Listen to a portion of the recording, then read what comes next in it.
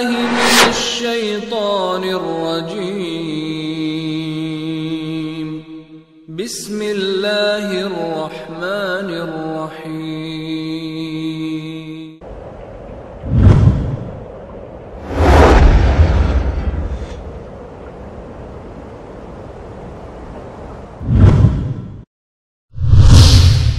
كنتم خير أمة أخرجت للناس تأمرون بالمعروف وتنهون عن المنكر وتؤمنون بالله.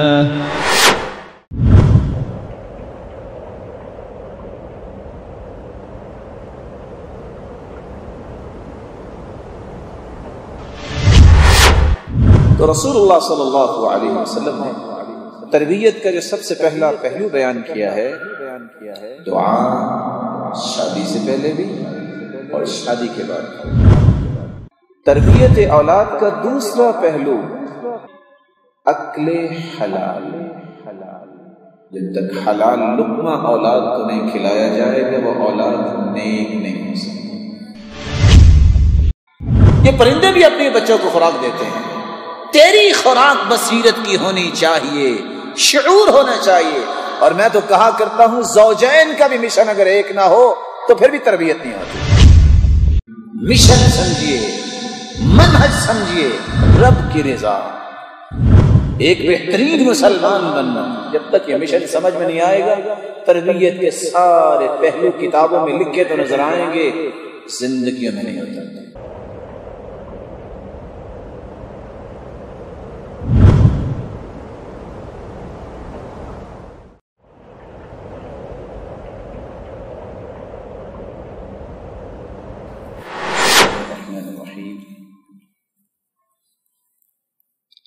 الحمد لله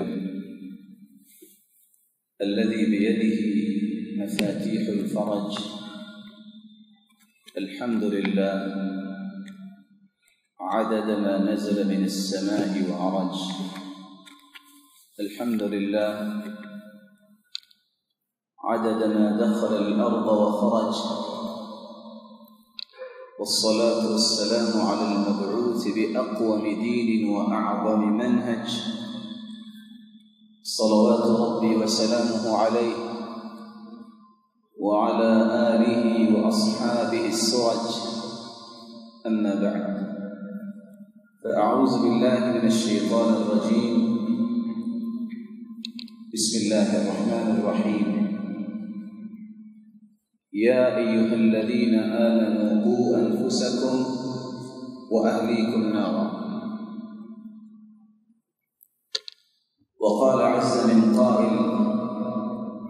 يا أيها الذين آمنوا إن من أزواجكم وأولادكم عدوا لكم فاحذروه. وإن تعفوا وتصفحوا وتغفروا فإن الله غفور رحيم.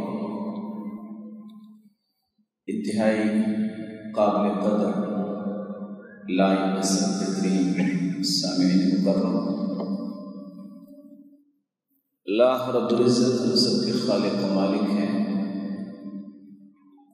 مالک الملک نے ہماری رشد و ہدایت کے لیے نوشتہ ہدایت قرآن مجید کو نازل کیا ہے۔ قرآن مجید جو انسانی رشت و ہدایت کے لیے ایک کامل اور اکمل پیغام ہے۔ زندگی کا ہر وہ پہلو جس میں انسانیت کو صحیح اور سنہری تعلیمات کی ضرورت ہے۔ اس ضرورت کو اگر پورا کر سکتا ہے تو اللہ کا کلام پورا کر سکتا ہے۔ آج ہماری گفتگو کا محور تربیت اولاد ہے۔ اس سے قبل کہ ہم اپنے موضوع کی طرف آئیں، میں ابتدا میں دو باتیں پیش کرنا چاہتا ہوں۔ رسول اللہ صلی اللہ علیہ وآلہ وسلم بعثت کے بعد سب سے پہلی ذمہ داری جو ادا کی ہے یتلو علیہم آیاتی ویزکیہم وَيُعَلِّمُهُ الْكِتَابَ وَالْحِكْمَةِ وہ سب سے پہلی ذمہ داری یہ ہے کہ اللہ کے رسول صلی اللہ علیہ وسلم نے قرآن مجید سنایا اور مطلوع آیات کی روشنی میں ان کی تربیت فرمائی۔ رسول اللہ صلی اللہ علیہ وسلم نے بھی اس تربیت اور اس تزکیے کے ساتھ اس قوم کو اتنا بلند کیا کہ اللہ کا قرآن نازل ہوا رضی اللہ عنہم ورضوا دوسری بات، اولاد کی تربیت میں ہر شخص کے اپنے جذبات ہیں۔ کسی پر عاطفیت غالب ہے، کسی پر مغرب کا نظام غالب ہے، اور کسی شخص پہ جذبات غالب ہیں۔ لیکن صحیح تربیت وہ ہے جس کے بارے میں صحابی بیان کرتے ہیں، ان افضل الهدی، هدی محمد صلی اللہ علیہ وسلم.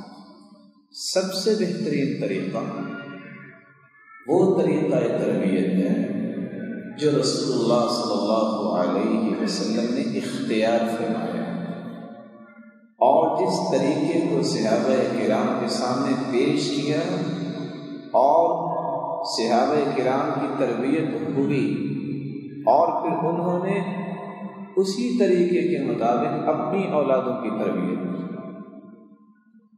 قرآن مجید میں اللہ رب العزت فرماتے ہیں کو انفسکم و اہلیکم نارا۔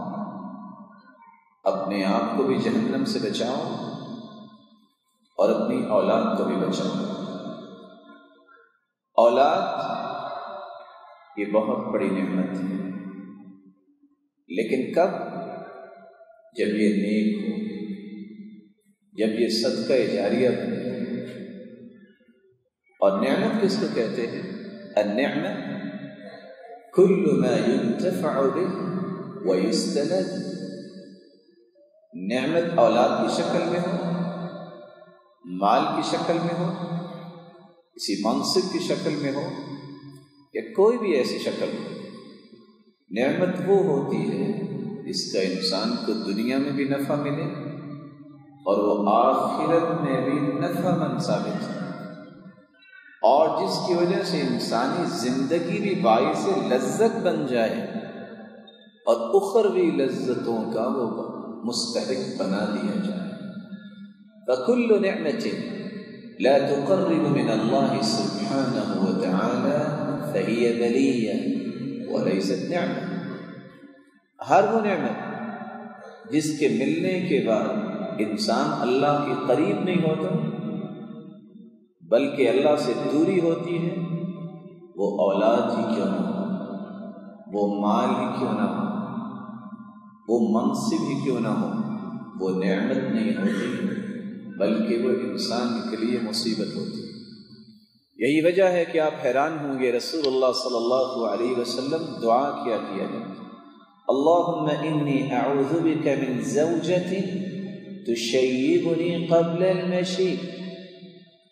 اے اللہ، میں تیری پناہ میں آتا ہوں، ایسی بیوی سے جو مجھے بڑھاپے سے پہلے بوڑھا کر دے۔ ومن ولد یکون علی وبالا اور ایسی اولاد سے جو میرے لیے وبال بن جائے۔ ومن مال یکون علی فتنہ اور ایسے مال سے بھی میں تیری پناہ مانگتا ہوں جو میرے لیے فتنے کا باعث بن جائے۔ اس لیے نعمت یہ ہے کہ انسان کی اولاد نیک اور صالح کیونکہ رسول اللہ صلی اللہ علیہ وسلم نے ایک دوسری حدیث میں اس کی حقیقت کو بیان کیا ہے۔ ان الولد مبخلت مجبنت محزنت بہت امیر انسان ہوتا ہے۔ جب اولاد آتی ہے تو انسان کے اندر بخل آ جاتا ہے۔ بہت خرچ کرنے والا ہوتا ہے۔ بہت بہادر ہوتا ہے۔ اولاد انسان کو بزدل بنا دیتی ہے۔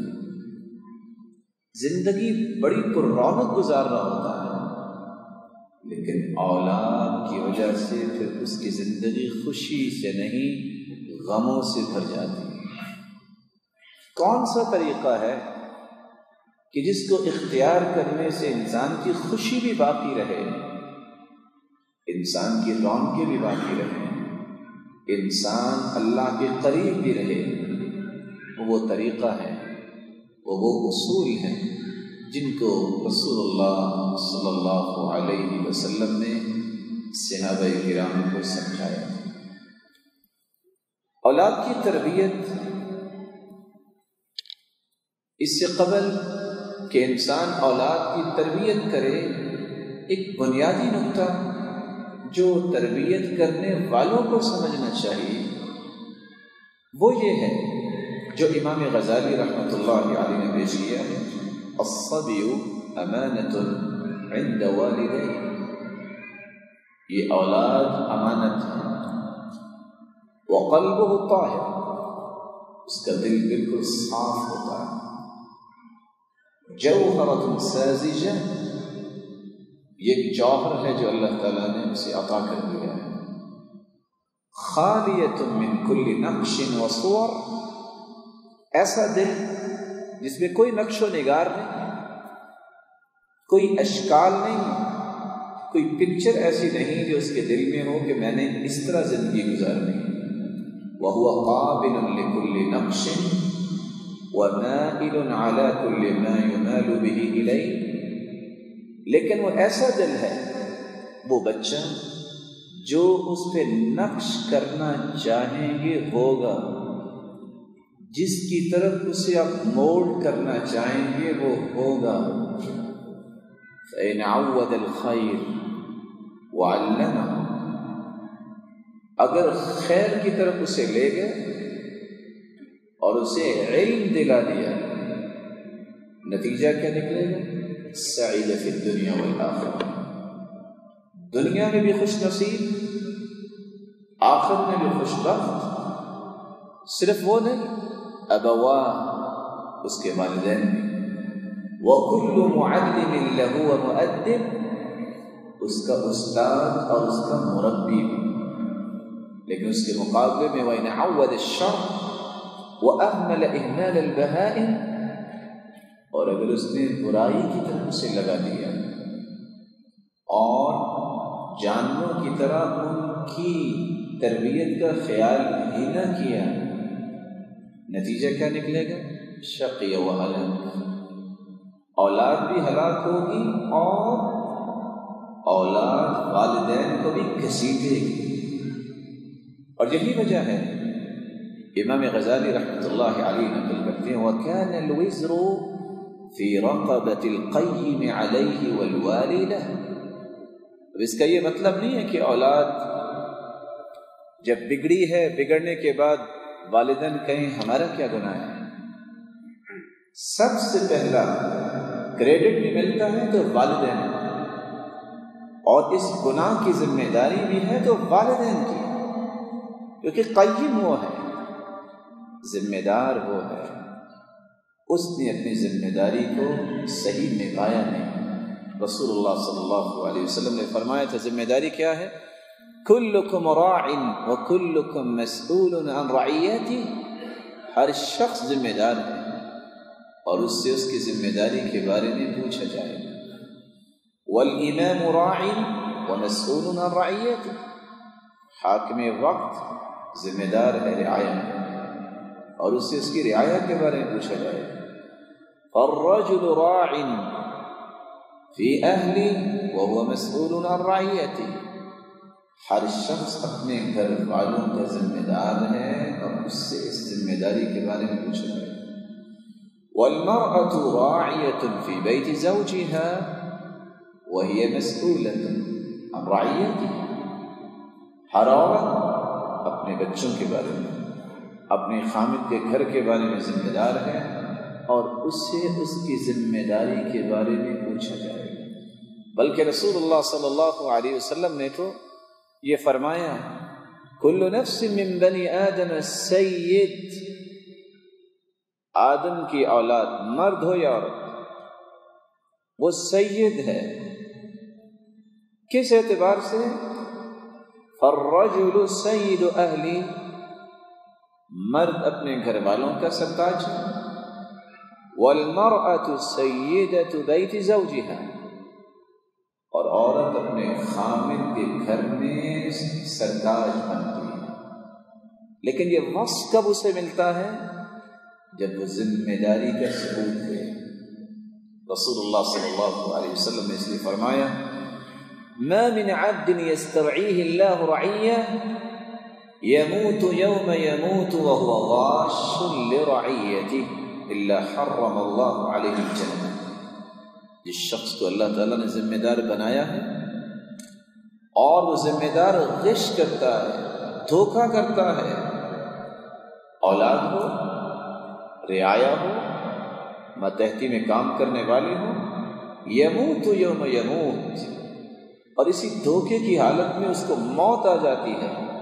صحیح بخاری اور مسلم کی روایت ہے اللہ حرم اللہ علیہ الجنہ اس پہ جنت کو اللہ نے حرام کرا دے دی رسول اللہ صلی اللہ علیہ وسلم نے تربیت کے جس پہلو کو صحابہ کے سامنے پیش کیا آج امت اس پہلو کو ویسے ہی بھول چکی ہے۔ وہ پہلو کیا ہے؟ شادی سے پہلے دعا کی جائے۔ ہر شخص دعا کب کرتا ہے جب اللہ تعالیٰ نے اس کو اولاد دینی ہو اور دعا کے الفاظ بھی کیا ہوتے ہیں، یا اللہ چاند جیسا بیٹا دے۔ چاند تو ظاہر ہے رات کو چمکتا ہے، دن کو تو غائب رہے گا۔ نتیجتاً وہ چاند جیسا بیٹا ساری رات فیس بک پہ بیٹھا ہوا ہے اور دن کو سویا رہتا ہے۔ دعا شادی سے پہلے اور شادی کے بعد یہ پہلا نقطہ ہے جس کو امت بھول گئی عائشہ رضی اللہ تعالی عنہ نے جب رسول اللہ صلی اللہ علیہ وسلم سے پوچھا، هل اتى عليك يوم كان اشد من يوم احد؟ کیا احد سے بڑھ کے بھی کوئی سخت دن آپ پہ آیا؟ کہ عائشہ، کیوں نہیں؟ طائف کے اندر جب دعوت دینے گیا طائف کے لوگوں نے جو حشر کیا، آپ سب جانتے ہیں۔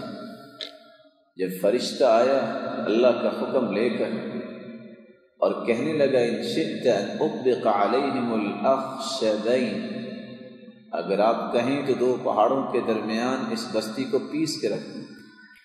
رسول اللہ صلی اللہ علیہ وسلم نے دعا کی تھی، جس سے ابن القیم رحمۃ اللہ علیہ استدلال لیتے ہیں۔ لا، بل ارجو يخرج الله من اصلابهم من يعبد الله وحده. نہیں میں مایوس نہیں ہوتا۔ میں تو اس مشن پہ لگا ہوا ہوں کہ یہ اگر نہیں مانتے تو ان کی قسمت ہے۔ لیکن میں تو لگا ہوا ہوں دعا کر رہا ہوں کہ اللہ تعالیٰ کی پشتوں سے نکلنے والی اولاد کو توفیق دے دے وہ اللہ کے سامنے جھکنے والی اس لیے شادی سے پہلے دعا کرنا، اے اللہ بیگا مسلم، میری یہ خواہش ہے کہ میں بھی عضو نافع بنوں معاشرے میں۔ اور مجھے اولاد بھی ایسی عطا کر جو دین کی سربلندی کا باعث بنے۔ رسول اللہ صلی اللہ علیہ وسلم نے شادی سے پہلے، ابھی یہ لوگ پیدا نہیں ہوئے۔ تو آپ نے دعا دے دی۔ شادی جب ہو جائے، آپ حیران ہوں گے، آپ تو ماشاء اللہ پڑھے لکھے لوگ بیٹھے ایک نہیں، بیسوں ایسی شادیاں دیکھی گئی۔ شادی کا پتہ صرف یہ ہے کہ ہم نے اتنی چیزیں خریدنی ہیں اور یہ لباس پہننا ہے۔ کسی کو اس بات کا کوئی احساس نہیں ہوتا کہ اسلام نے جو شادی کا تصور پیش کیا ہے اس میں اسلامی اقدار کیا۔ ہے اس لیے سچ کہا صلی صالحین نے، کسی کے ایمان کی پیمائش کرنی ہو تو شادی پہ، شاید خوشی پہ کیا کرے۔ اس کی خوشی کیسے؟ ہے آپ بڑے بڑے لوگوں کو ذرا الگ کر کے پوچھیے آپ کو یاد ہے کوئی دعا؟ آپ کو یاد ہے کوئی ادب و آداب؟ کچھ نہیں بتائیں اور حیرانگی کی بات ہے، ابن القیم رحمۃ اللہ علیہ نے صحیح بخاری کی اس روایت کے بعد کیا لکھا ہے؟ وہ روایت جس میں رسول اللہ صلی اللہ علیہ وسلم نے صحابہ کو یہ دعا سکھلائی، اور آج ویسے تو بہت ساری گالیاں اور بہت سارے برے الفاظ بولتے وقت انسان کو شرم نہیں آتی، لیکن شرعی مسائل کو پیش کرتے وقت کہتا ہے، اس طرح کے مسائل بیان کیوں کیے جاتے ہیں؟ لیکن رسول اللہ صلی اللہ علیہ وسلم جب اس طرح کے مسائل پیش کرتے تو کیا کہتے إن اللہ لا يستحی من الحق. اللہ تعالیٰ حق کو بیان کرنے سے حیا نہیں کرتے جو إنسان صحیح بخاری میں وارد ہونے والی یہ دعا اللہم جنبن الشیطان و جنب الشیطان ما رزقتنا. اور آخر لفظ کیا ہے فَإِن قُضِيَ بَيْنَهُمَا وَلَدٌ لَمْ يَضُرُّهُ الشَّيْطَانُ أَبَدًا. جو یہ دعا پڑھ لیتا ہے، شیطان کا اس پہ تسلط نہیں ہوتا اگر اللہ تعالیٰ اس کو اولاد دے دے۔ ابن القیم رحمۃ اللہ علیہ فرماتے ہیں، وقد يفوت الولد خيرا بسبب تفريط أبويه كترك التسمية عند الجماع بہت سارے بچے خیر سے محروم ہو جاتے ہیں والدین کی وجہ سے، کہ ان والدین کو یہ توفیق ہی نہیں ہوتی کہ اس طرح کی دعائیں یاد کریں۔ عبداللہ ابن مبارک رحمۃ اللہ علیہ کے پاس ایک شخص آیا، ان رجلا جاء يشكو الیہ عقوق ولدی اور آ کے شکایت کرتا ہے کہ میرا بچہ میرے ساتھ بڑی بدتمیزی کرتا ہے۔ فسأله ان كان قد دعا علیہ ام لا؟ انہوں نے سوال کیا، یہ بتاؤ، کبھی بچے کو بد دعا تو نہیں دی؟ فاجاب بانه قد دعا علیہ کہا جی بد دعا تو دی تھی۔ اور یہ کون سی بد دعا ہے؟ جب عورت، اللہ تعالیٰ نے ان کو بشارت دے دی ہو خوشی دی اور کسی وجہ سے بیمار ہو جائے، تو یہ ہز ایکسیلنس جو ہوتے ہیں خامد، وہ کیا کہتے ہیں؟ لعنت ہے اس اولاد پہ، ابھی وہ دنیا میں آئی نہیں تو تم سے کھانا بھی نہیں پکا۔ لفظ، کیا کرنا ہے اس اولاد کو؟ جس کی وجہ سے تم نے میرا کوٹ استری نہیں کیا۔ کیا کرنا ہے میرے اس اولاد کو؟ جس کی وجہ سے میرا یہ نقصان ہوا۔ تو عبداللہ بن مبارک رحمۃ اللہ علیہ فرمانے لگے، فقال له حينئذ انت افسدته اب رونے کی کیا بات ہے؟ اس کے اندر جو بھی برائی آئی ہے، تیری بد دعا کی وجہ سے آئی ہے۔ سب سے پہلی ذمہ داری، شادی سے پہلے بھی دعا، شادی کے بعد بھی دعا۔ اور یہاں رک کے میں والدین کے لیے پیغام چھوڑنا چاہوں گا۔ والدین کو یہ تو سوچ آتی ہے کہ میری بیٹی کی شادی وہاں ہو، کہ اس کا کاروبار ہو۔ یہ تو سوچ آتی ہے کہ اس کے پاس گاڑی ہو۔ کہیں یہ پیدل چل چل کے اس کے پاؤں نہ خراب ہو جائیں۔ یہ تو سوچ آتی ہے اس کا کوئی بینک بیلنس ہو۔ کبھی یہ بھی اس نے سوچا کہ میں جس کے گھر بیٹی بھیجنے لگا ہوں، وہ انسان کیسا ہے؟ من زوج كريمته من فاسق فقد قطع رحم جس نے فاسق انسان کو اپنی بیٹی دے دی، اس نے اپنی بیٹی کا قطع تعلق کر لیا، اس نے سلا رحمی کا حق ادا نہیں کیا۔ اور اس کا نتیجہ کیا نکلتا ہے؟ پھر سوائے رونے کے اور حسرت کے زندگی میں اسے کچھ نہیں ملتا۔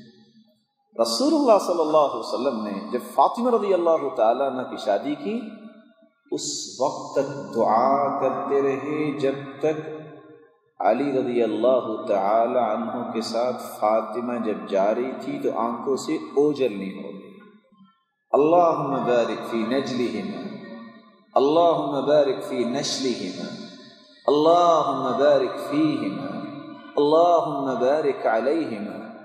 اہتمام کہ اللہ تعالیٰ ان کی اولاد میں برکت فرما۔ اے اللہ تعالیٰ ان کو برکتوں سے نواز دے۔ آج ہمیں یہ تو آتا ہے کہ گاڑی اچھی ہو جس میں ہم بیٹی کو بھجوا دیں، لیکن دعا کو نہیں دیتا تو رسول اللہ صلی اللہ علیہ وسلم نے تربیت کا جو سب سے پہلا پہلو بیان کیا ہے، دعا شادی سے پہلے بھی اور شادی کے بعد نیک اولاد کی تربیت تربیت اولاد کا دوسرا پہلو، جس کی طرف توجہ نہیں ہوتی، عقل حلال۔ جب تک حلال لقمہ اولاد کو نہیں کھلایا جائے گا، وہ اولاد نیک نہیں ہو سکتی۔ رسول اللہ صلی اللہ علیہ وسلم کے پاس صحابی آئے اور کہتے ہیں، یا رسول اللہ صلی اللہ علیہ وسلم ادعو اللہ ان یجعلنی مستجاب الدعوات۔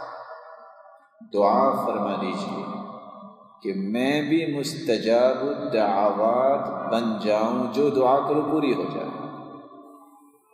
آپ نے دعا کے جواب میں علاج بتا دیا۔ فرمایا، اطب مطعمك تكن مستجاب الدعوات۔ میرے صحابی اپنے کھانے کو حلال کر لے۔ جو بھی زبان پہ آئے گا، اللہ پورا کر دے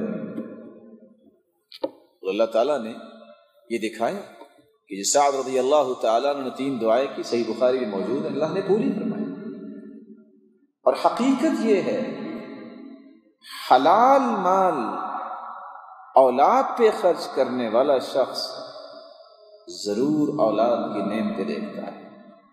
اور سہل ابن عبداللہ التستری فرمایا کرتے تھے من أكل الحلال عبد الله شاء أم أبا جو حلال کھاتا ہے وہ چاہے یا نہ چاہے اللہ اسے نیکی کروا دے ومن اكل الحرام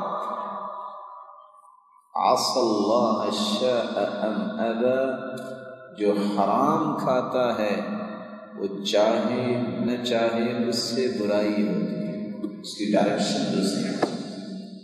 اس لیے صرف صالحین آج ان کے قصے ہم پڑھتے ہیں کہ ان کی بیویاں جب ان کو الوداع کرنے آتی، آج تو وہ بھی دور ختم ہو گیا دروازے تک آتی۔ آج تو اللہ معاف فرمائے، ہمیں ایسے بھی قصے سننے کو ملتے ہیں کہ عورتیں کہتی، یا اللہ، یہ جان چھوٹے یہ گھر سے جانے والا بنے یہ گھر میں ہوگا نا، تو اس نے کہنا ہے چائے پکا دو۔ اس نے کہنا ہے کہ لباس کو جو ہے وہ استری کر دو۔ یہ کام ہی لگائے رکھے گا یہ جائے گا کہ ہماری جان چھوٹے سلف کی روایات تھی دروازے تک بیویاں آتی۔ اور دعا دے کے استودعك الله دينك وأمانتك وخواتيم عملك میں تمہیں اللہ کی ضمانت میں بھیج رہی کیونکہ ان کو یقین تھا نہ جانے دوبارہ ملاقات ہوگی کہ نہیں۔ اور ساتھ دروازے پہ کھڑا کر کے یہ کہتی فإنا نصبر على الجوع والضر ولا نصبر على النار. اے جانے والے، حرام نہ کما کے لانا حرام سے بچ جانا میں اور میرے بچے بھوک برداشت کر سکتے ہیں سختیاں برداشت کر سکتے ہیں، لیکن جہنم کی آگ نہیں برداشت کر سکتے. ہاں آج بھی کو آتا ہوگا دروازے تک ڈیڑھ فٹ لمبی لسٹ دینے کے لیے کہ ہمیں یہ سامان چاہیے، یہ واپسی پہ لیتے آنا۔ ہمیں اس سے کوئی غرض نہیں ہے کہاں سے لے کے آئیں، ہمیں تو گھر کا سامان چاہیے۔ اور جانے والا بھی یہ دعا دے کے نہیں جاتا آج، جو سرس صالحین دعا دیا کرتے تھے۔ اللہ کی ضمانت میں دے کے جاتے تھے۔ میں بھی تجھے اللہ کی ضمانت اور امانت میں دے کے جا رہا ہوں، جو اللہ کی امانت اور ضمانت میں چلا جائے، وہ کبھی ضائع نہیں گھروں کی حفاظت ہوتی ہے اس وقت۔ رسول اللہ صلی اللہ علیہ وسلم نے سچ فرمایا، حلال مال جب انسان استعمال کرتا ہے، تو پھر زبان سے نکلی ہوئی بات یہ اللہ پوری فرماتے ہیں۔ پھر والدین کی دعا جو ہے، وہ اولادوں کو بدلتی ہے۔ آج کیا کہتے ہیں؟ بس دعا تو بڑی کرتے ہیں۔ دعا کیسے کرتے ہیں؟ پہلے اپنا کھانا حلال کرو۔ اگر کھانا حلال ہے تو پھر اصولوں کی پابندی کرو۔ رسول اللہ صلی اللہ علیہ وسلم نے فرمایا، جو دس درم کا لباس خریدتا ہے، من اشترى ثوبا لعشرة دراهم، دس درما تو افیہ درہم حرام۔ اور ایک درہم حرام کا ہے۔ چالیس دن تک تو اس کی نماز قبول ہی نہیں ہوتی بلکہ روایت کے الفاظ ہیں، جب تک لباس اس کے اوپر ہوگا، اس کی عبادت قبول نہیں اس لیے عمر رضی اللہ تعالی عنہ فرمایا کرتے تھے، بالورع عما حرم اللہ يقبل الدعاء والتسبیح جب تک انسان حرام سے بچتا نہیں، نہ اس کا کوئی ذکر اثر کرتا ہے، نہ اس کی کوئی دعائی قبول ہوتی۔ ہے امام بخاری رحمۃ اللہ علیہ جب ان کے والد کے پاس گئے ہیں، احمد بن حفظ پوچھا کہ آپ نے بچے کے لیے کیا چھوڑا؟ خود تو جا رہے ہیں۔ کہا، میں جو مال چھوڑ کے جا رہا ہوں، لا اعلم من مالی درہما من حرام ولا درہما من شبہ۔ میں نے جو مال چھوڑا ہے اپنی اولاد کے لیے، اس میں ایک درہم بھی حرام کا تو دور کی بات ہے، شبے کا درہم بھی میں نے نہیں چھوڑا۔ رسول اللہ صلی اللہ علیہ وسلم نے صحابہ کرام کو یہ بات سمجھائی تھی۔ ای جسد نبت من سحت فالنار اولا به جو جسم حرام سے بلتا ہے، اس کے لیے آگ ہی بہتر ہے۔ اور رسول اللہ صلی اللہ علیہ وسلم کے فرامین اور قرآن مجید کی آیت سے یہ سمجھ آتی ہے، یا ایوہ الرسل، کلو من الطیبات وعملوا صالحا۔ پاک اور حلال چیزیں کھاؤ اور نیک عمل کرو۔ نیک عمل ہوتے ہی اس وقت ہیں جب لقمہ حلال ہو۔ اگر طیبات نہیں تو وعمل صالحہ بھی انسان کی قسمت میں رسول اللہ صلی اللہ علیہ وسلم نے دوسرا پہلو یہ صحابہ کرام کو سمجھایا، نتیجہ کیا نکلتا؟ ہے صحابہ کے اندر خوف کی کیفیت ایسے تھی۔ ابکر صدیق رضی اللہ تعالیٰ عنہ کا قصہ آپ نے سنا ہوگا، جب ان کے غلام نے کھانا کھا رہے تھے، دعوت دی تو دعوت کو قبول کیا، ابھی ایک لکمہ منہ میں ڈالا۔ تو پوچھا، یہ کھانا کہاں سے آیا تھا؟ کہا، جب میں اسلام قبول نہیں کیا تھا تو جہالت کے اندر میں نے کہانت کی تھی تو اس کی شرینی آج مجھے ملی۔ تو ابو بکر صدیق رضی اللہ تعالی عنہ نے فوراً کہہ کر دی۔ کہا، کیا ہوا؟ لو لم تخرج الا مع نفسی لاخرجتها اگر یہ لقمے کے اجزاء نکالتے نکالتے میری جان نکل جاتی تو میں جان بھی نکال دیتا آج تو اس بات کو سمجھنے کے لیے ہم تیاری نہیں ہے کوئی کسی کی سفارش کر دے تو کسی کا کام کر دے تو کہتا ہے خدمت شرینی اور رسول اللہ صلی اللہ علیہ وسلم فرماتے من شفع لرجل جو کسی کی سفارش کرتا ہے اور پھر اس سفارش کے نتیجے میں کام ہو جاتا ہے۔ اس کو کوئی چیز دی جاتی ہے کہ تو نے میری سفارش کی۔ فہو عین الربا، یہ تو خالص سود ہے۔ آج دنیا کے کام چلتی ہے اللہ رب العزت ہم سب کو حلال لقمہ نصیب فرمائے۔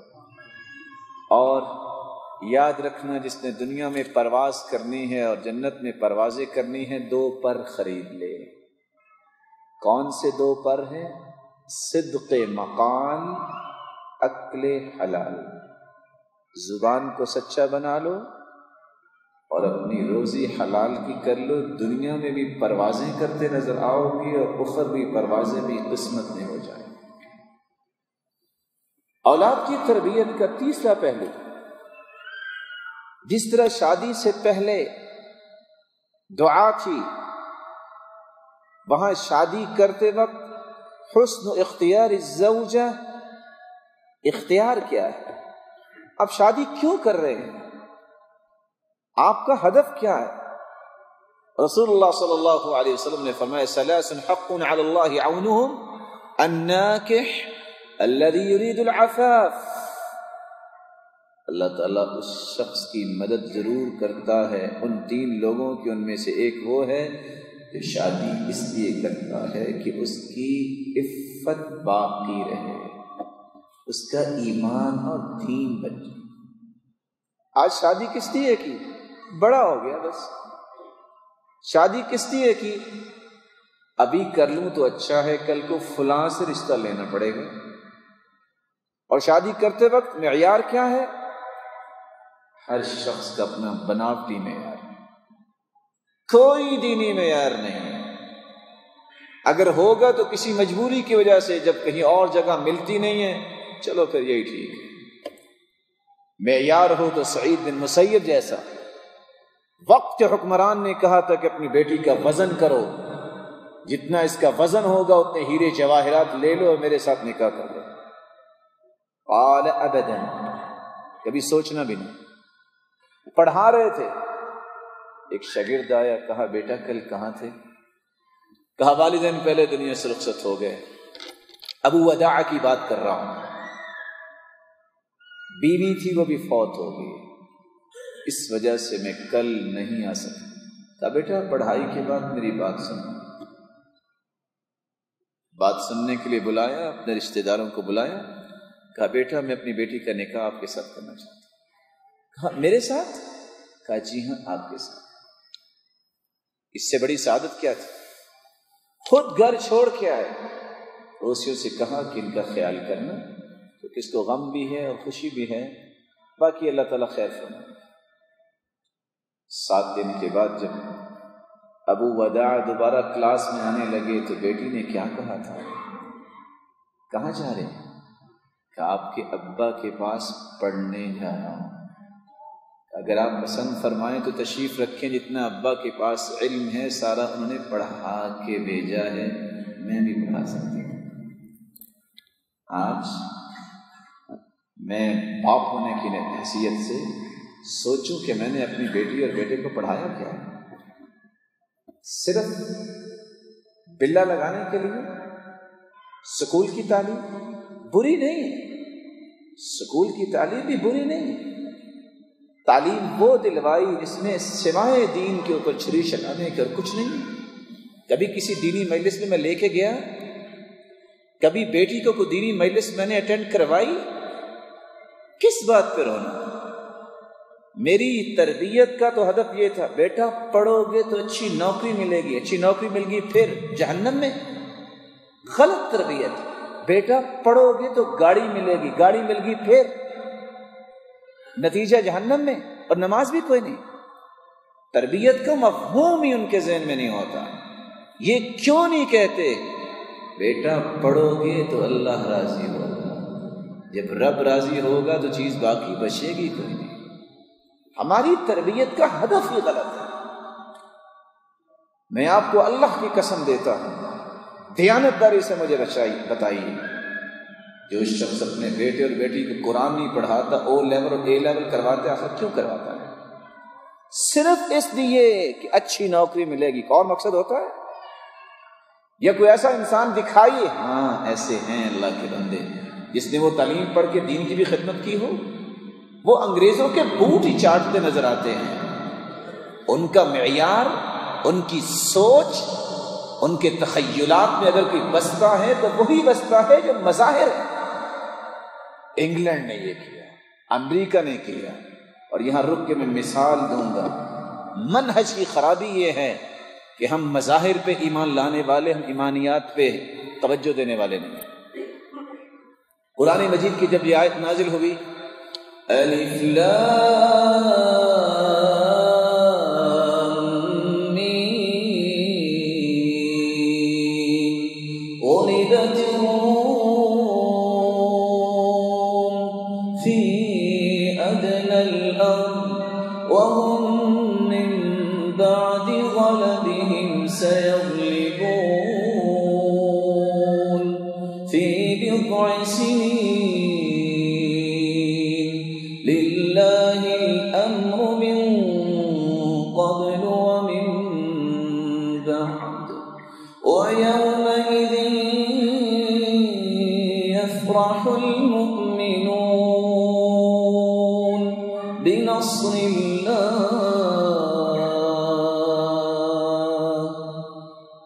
آیتیں کب نازل ہوئی؟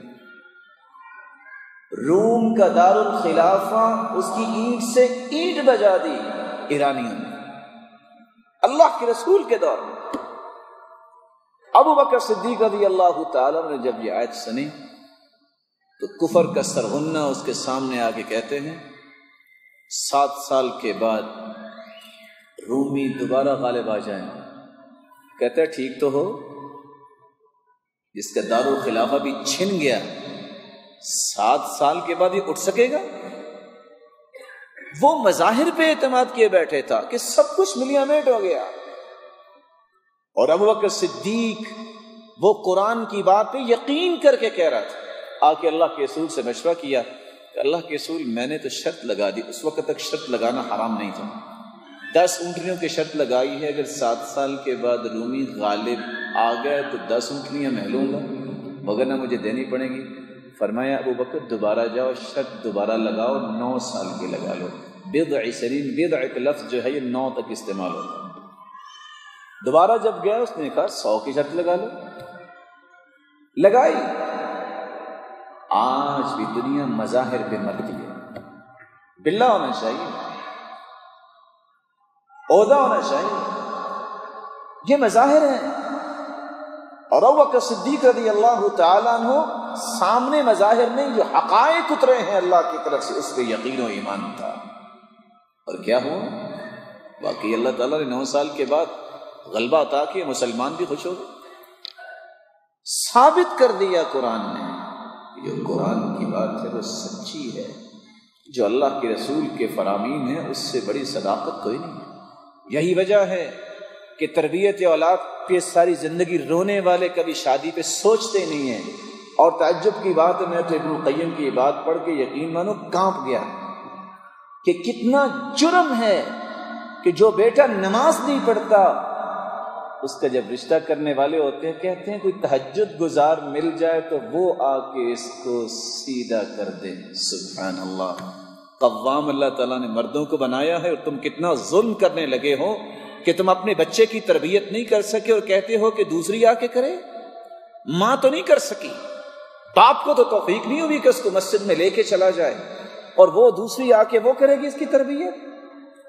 رسول اللہ صلی اللہ علیہ وسلم نے اختیار الزوجہ میں جو پیغام دیا وہ سننے والا اذا اتاکم من ترضون دینہ وخلقہ فزوجوہ۔ تمہارے پاس جب کوئی شخص آئے جس کا دین تمہیں پسند ہے، جس کا اخلاق تمہیں پسند ہے، تم اپنی بیٹی کا نکاح کر دو۔ اگر نہیں کرو گے تو فتنہ و فساد دنیا میں بپا ہوگا۔ فتنہ و فساد کیا جو ہم دیکھ رہے ہیں؟ کون سا اخلاق ہے جس کو سلام کرنے کا طریقہ نہیں ہے؟ کیا کر رہے ہیں جی؟ بس جی فلاں فلاں کورسز کر رہے ہیں۔ اس کو کسی سے بات کرنے کا طریقہ نہیں آتا؟ کھانا کھانے بیٹھے تو دیکھنے والے کو شرم آ رہی ہوتی کہ کھانا کھانے کا طریقہ کیا ہے؟ اور جب کہیں اٹھنے بیٹھنے کی بات آئے تو وہاں اس کو یہ پتہ نہیں کہ اٹھتے اور بیٹھتے کیسے ہیں، بڑے کا استقبال کیسے کرتے ہیں؟ اس شخص کے اندر یہ صلاحیت نہیں ہے، تبسم صدقہ۔ کسی مسکرا کر ملنا بھی کسی مسلمان کو بہت بڑا صدقہ ہے، اس کی تربیت کی کیا ہے؟ اور سچ روتے تھے سلف۔ کیا کرتے تھے؟ اگر میرا بیٹا میرا جنازہ ہی نہیں پڑھا سکتا، اس کی یہ دعائیں یاد نہیں ہے تو میں نے کمایا کیا؟ ہے اور کبھی ہم نے سوچا کہ میں آج فوت ہو جاؤں، میرا بیٹا مجھے شری غسل بھی دے سکے گا؟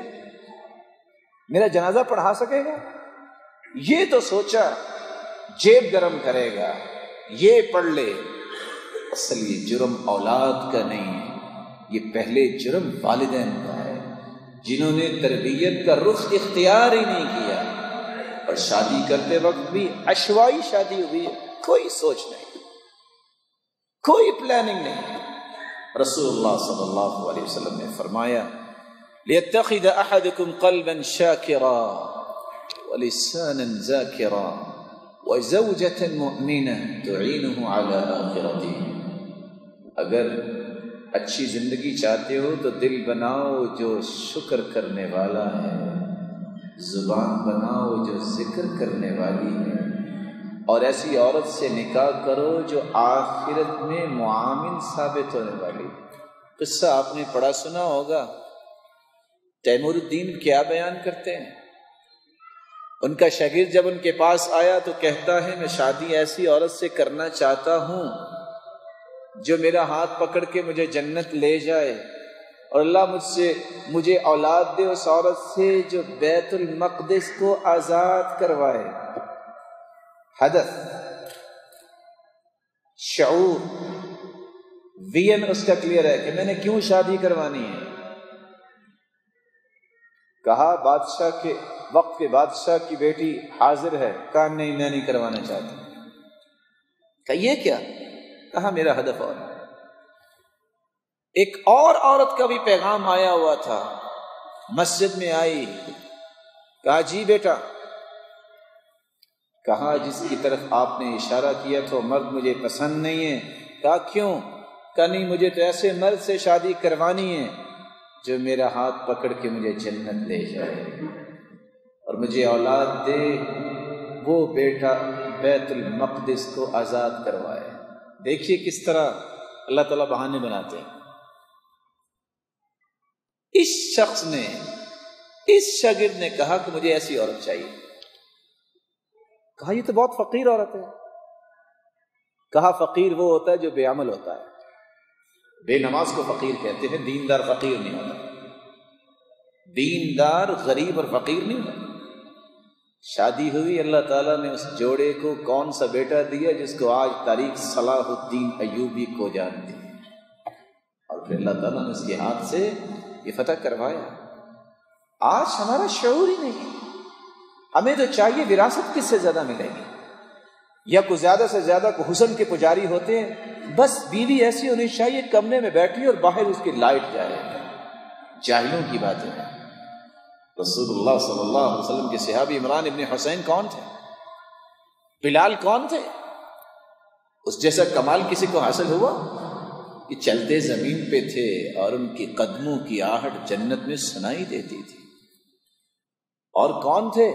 عبد الرحمن ابن عوف، عالمی منڈی کے صفے اول کے تاجر کہتے ہیں، میرے لیے فخر یہ ہے آج کہ میں اپنی بہن قریشی ہے وہ، اس کا نکاح بلال کے ساتھ کر رہا ہوں۔ آج ہم اپنی بیٹیوں کو اور بیٹوں کو بڑا کر کے گناہ کی طرف لے جاتے ہیں۔ میں چونکہ سید ہوں، تو سید گھرانے سے کو ملے گا؟ یہ بت تو اللہ کی صورت توڑے تھے۔ میں چونکہ راجپوت ہوں، میں چونکہ فلاں ہوں کو ملے گا تو پھر ہے باقی کون ہے؟ انسان نہیں ہے۔ اور قرآن مجید نے یہ راز بیان کیا ہے۔ وَجَعَلْنَاكُمْ شُعُوبًا وَقَبَائِلَ لِتَعَارَفُوا، تعارف کے لیے، لِتَفَاخَرُوا کے الفاظ نہیں ہیں، لِتَخَاصَمُوا کے الفاظ نہیں ہیں، لِتَكَاثَرُوا کے الفاظ نہیں ہیں۔ کہ میرے خاندان کے بڑے لوگ ہیں، فخر کے لیے خاندان نہیں ہے ان اکرمکم عند اللہ اتقاکم۔ اللہ کے ہاں تو تقوی کی قیمت ہے کسی خاندان کی قیمت نہیں۔ مدینہ کتنا پیارا شہر ہے۔ ایک وقت آیا تھا، محمد بن منقدر بیان کرتے ہیں، میں ذرا اس حقیقت کو کھول دوں، شاید کہ کسی کے کام آ جائے۔ مدینے والے باہر نکلے، دعا مانگ رہے ہیں، اللہ بارش دے دے، بارش نہیں آئی۔ کون ہیں مدینے کے رہنے والے؟ اشراف۔ محمد بن منقدر فرماتے ہیں، میں نے دیکھا کہ جوتیاں بنانے والا شخص۔ اس نے تھیلے میں جوتیاں ڈالی۔ کہتے ہیں، بارش نہیں ملی۔ فقام۔ کھڑا ہوا۔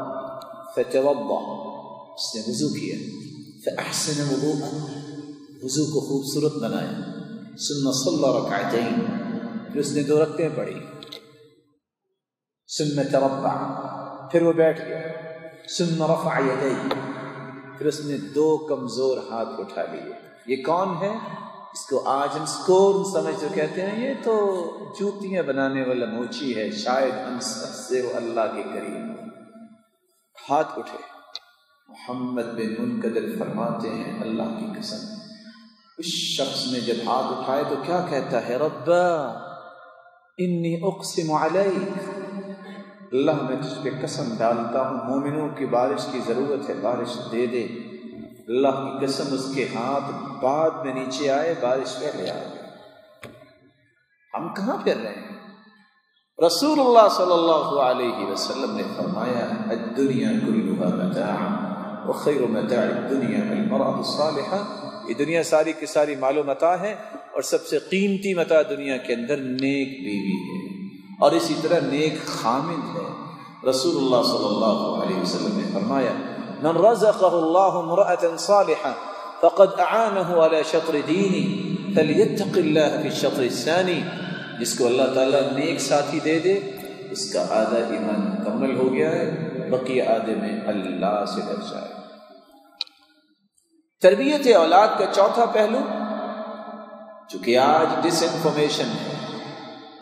وہ مبارک سلسلہ جس کو علماء کہتے ہیں۔ آج دنیا کے اندر ان علماء کو ہی لوگ پسند نہیں کرتے۔ اور بدبختی یہ ہے کہ شاید یہودی اور عیسائی اتنا نقصان نہیں کرتے جتنا مسلمان اس مبارک سلسلے پہ زبان کھول کے اسلام کا نقصان کرتا ہے۔ ابن القیم فرماتے اسلام دو چیزوں سے ملا ہے۔ مسجد سے مسجد والے سے۔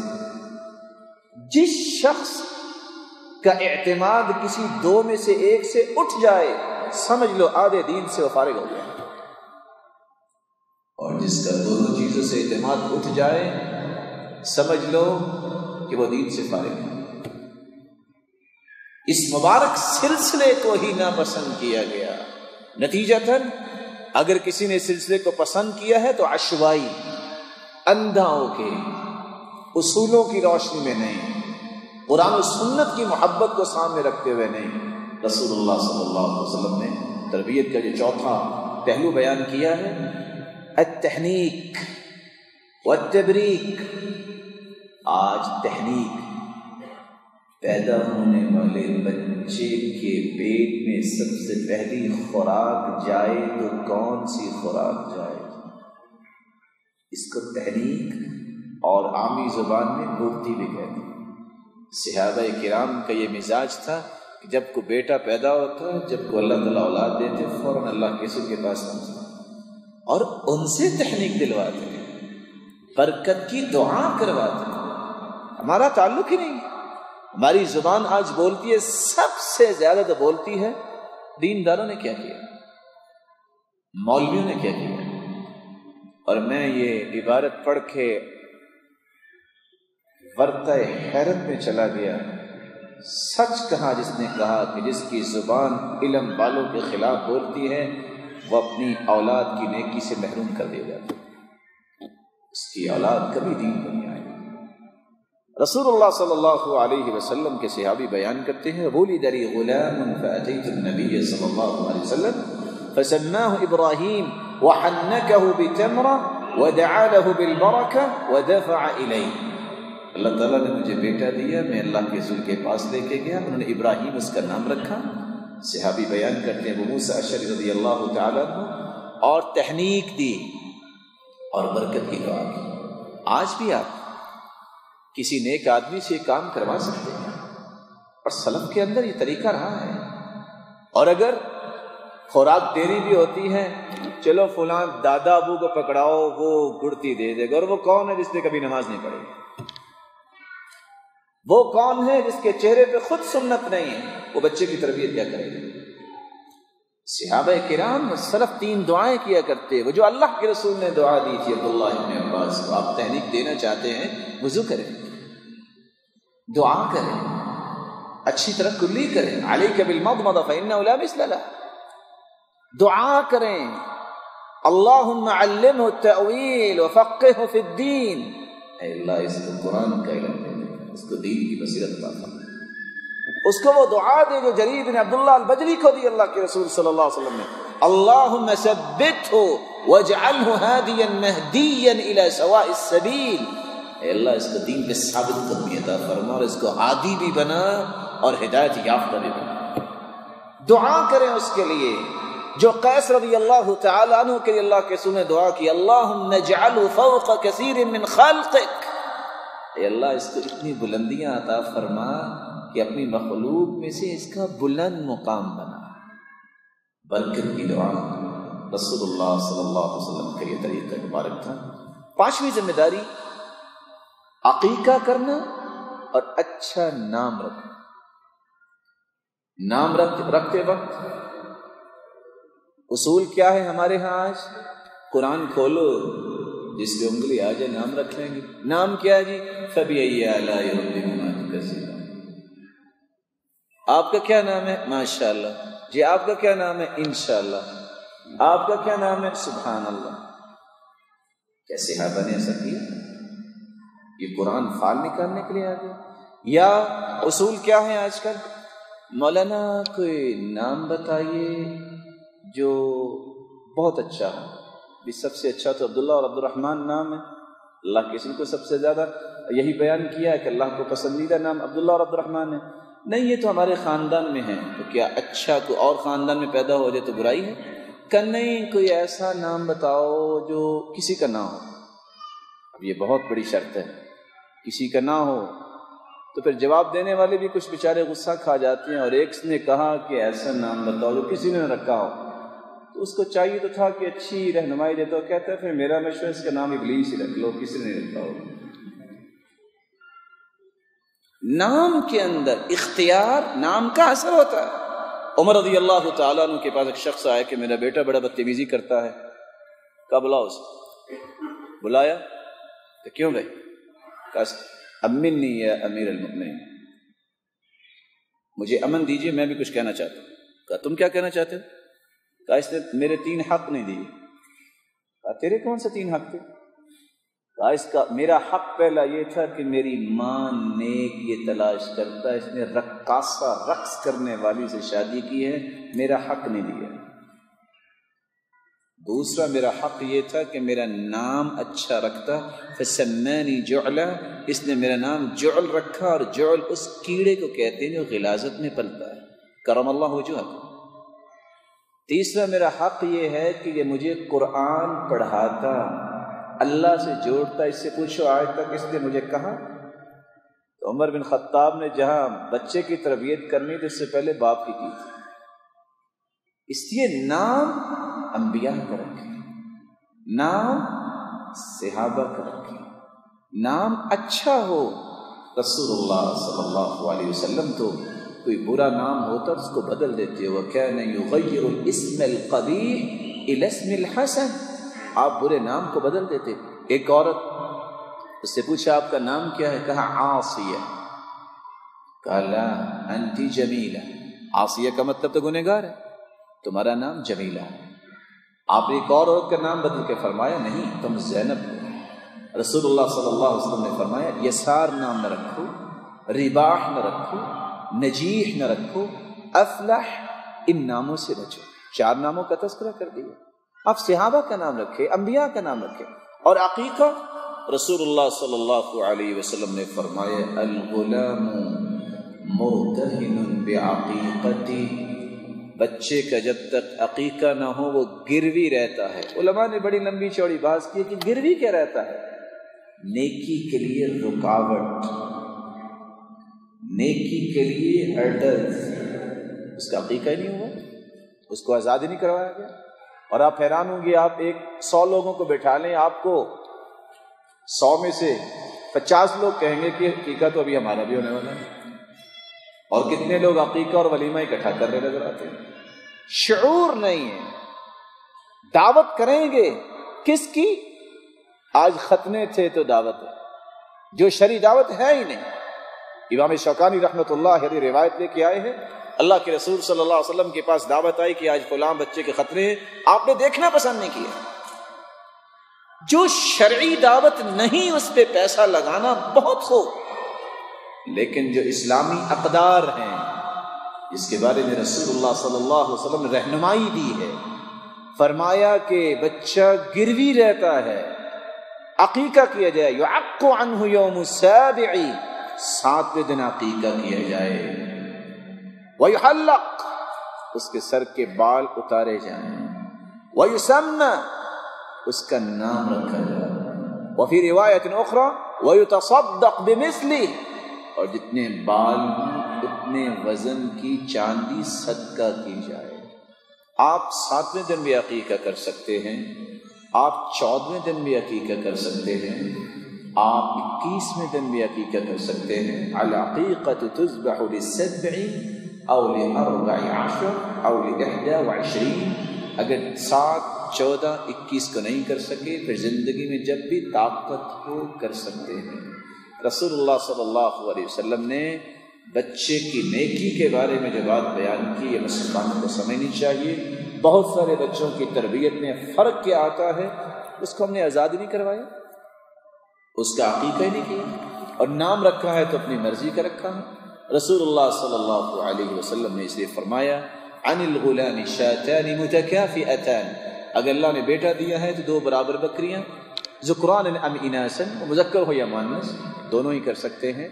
وعن الجاریہ شات، اور اگر بچی اللہ نے عطا کی ہے تو ایک جانور ذبح کیا جائے۔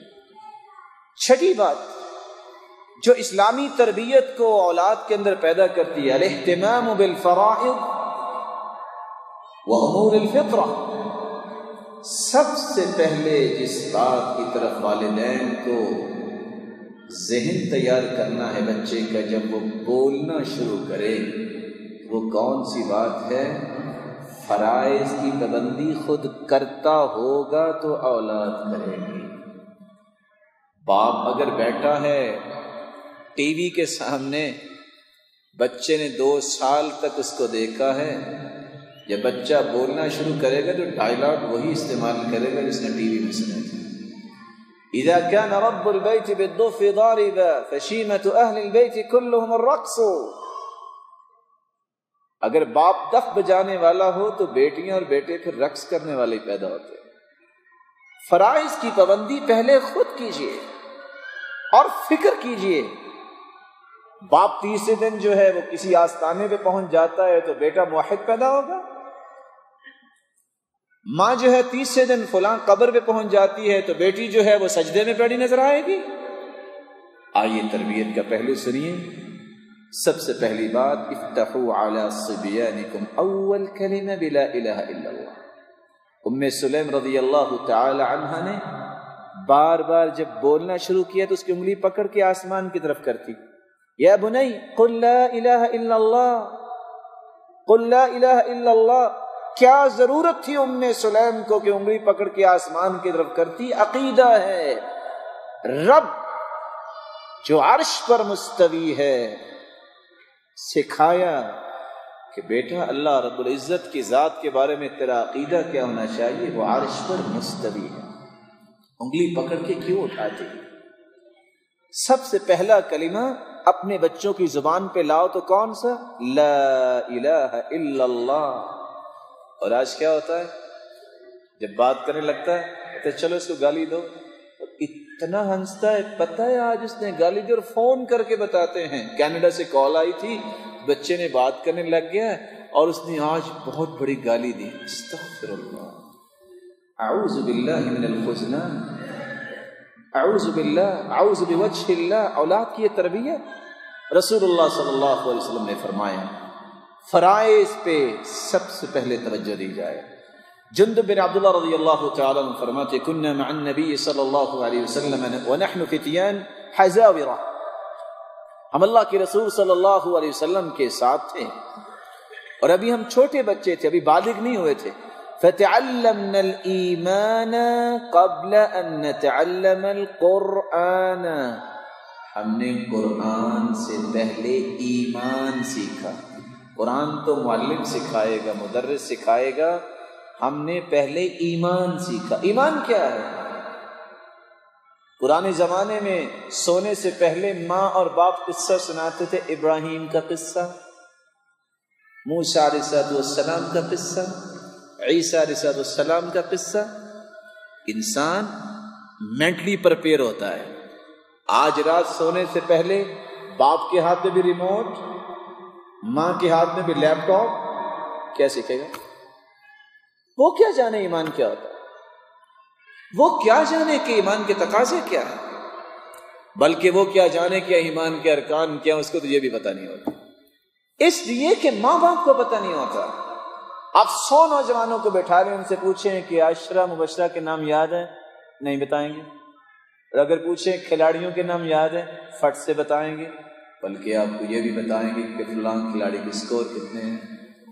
کیوں؟ آئیڈیل کون ہے جو ماں باپ نے ان کو دے دیا؟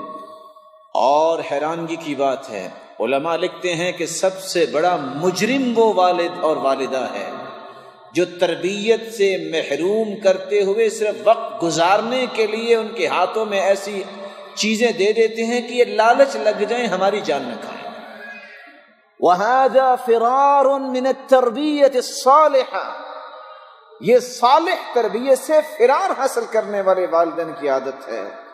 وہ یہ نہیں سوچتے جب پوچھنے والے نے کس سے پوچھا کہ سب سے بہترین مشغلہ کیا ہے۔ تو اس نے مسکرا کے کہا، سب سے بہترین مشغلہ ہے تربیت الاولاد، اولاد کی اچھی تربیت کرنا۔ آج ماں اور باپ کیوں کہتے ہیں؟ چلو ٹی وی لگا کے بٹھا دو۔ کیا کریں جی؟ اگر گھر میں نہیں رکھیں گے تو پڑوسیوں کے پاس چلے جائیں گے۔ کیوں؟ پڑوسیوں کے پاس کیوں چلے جائیں گے؟ بس جی مولانا کیا بتائیں؟ مانتا ہی کوئی نہیں ہے۔ وہ آپ کا ابا ہے؟ مانتا ہی کوئی نہیں۔ تم نے کیا سیکھا ہے؟ تم کمپنی کے مالک بنے بیٹھے ہو۔ چار چار سو آپ کے تحت کام کرنے والے ہیں۔ تم سے ایک بچہ نہیں سنبھالا جاتا؟ اور وہاں تمہیں روپ جمانا آتا ہے؟ کیا مطلب؟ بس جی بچیاں مانتی نہیں ہیں۔ وہ ماں ہے آپ کی؟ کیا مطلب؟ یہ کہو کہ ہم نے وہ چیز ان بچوں کے دل میں ڈالی نہیں ہے، جس کی وجہ سے احترام آئے۔ اور اس لیے ہم کہا کرتے ہیں ایسی کتابوں کو قابل ضبطی سمجھتے ہیں، جن کو پڑھ کے بچے والدین کو خبتی سمجھتے ہیں۔ یہ علم نہیں، جس کو پڑھنے کے بعد اولاد ماں باپ کا احترام نہ کرے، اس سے بڑی جہالت ہی کوئی نہیں ہے۔ اس سے بڑا اجڑ پانی کوئی نہیں ہے۔ بیٹا اور بیٹی ہو اور ماں کے سامنے آگے سے بولے اور ماں باپ کے احترام کا اس کو پتہ ہی نہ ہو کہ باپ ہے یہ ماں ہے۔ رسول اللہ صلی اللہ علیہ وسلم نے تو فرمایا تھا، من يرحم صغيرنا ويؤقر كبيرنا فليس من لم يجل كبيرنا جو عام بڑے کا احترام نہیں کرتا، اس کا میرے ساتھ تعلق ہی نہیں۔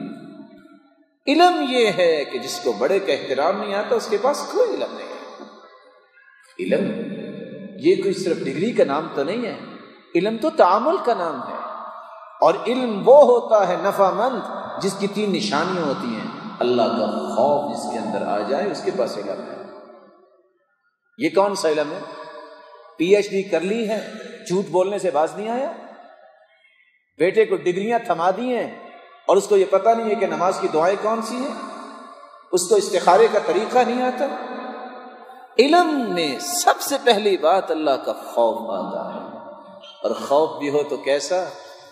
ابو بکر صدیق جیسا، عمر فاروق جیسا، وہ عالمی منڈی کے صفحے اول کے تاجر عبد الرحمان بن عوف جیسا، وہ عائشہ جیسا، رو رہے ہیں۔ پوچھنے والے نے پوچھا، مومنوں کی مانگ کیا ہو گیا؟ اتنی کیوں رو رہی آج؟ ہاتھ میں پتھر کہتی ہیں، یا لیتنی کنت ورقتا من هذه الشجرہ۔ کاش میں بھی درخت کا ایک پتا ہوتی، میرا یہ کوئی جانور کھا لیتا اور کل قیامت کو میرا حساب نہ ہوتا۔ علم نافع سے اللہ کا خوف پیدا ہوتا۔ علم نافع سے علم انسان کو عمل کی طرف کھینچتا ہے، گھسیٹتا ہے۔ جس کا علم گھر سے اٹھا کے مسجد تک نہیں لا سکتا، اس کا علم قیامت کے دن بلسرات سے کیسے کراس کروائے گا؟ اور علم نافع کی تیسری نشانی، اس کے دل میں خیر خائی مسلمانوں کی پیدا ہوتی ہے۔ ہم دردی اس کے دل میں آتی ہے، یہ علم جب آئے گا تو پھر اولاد کی تربیت صحیح ہوگی۔ رسول اللہ صلی اللہ علیہ وسلم کا اصول بیان کیا ہوا، فرائض کی پابندی۔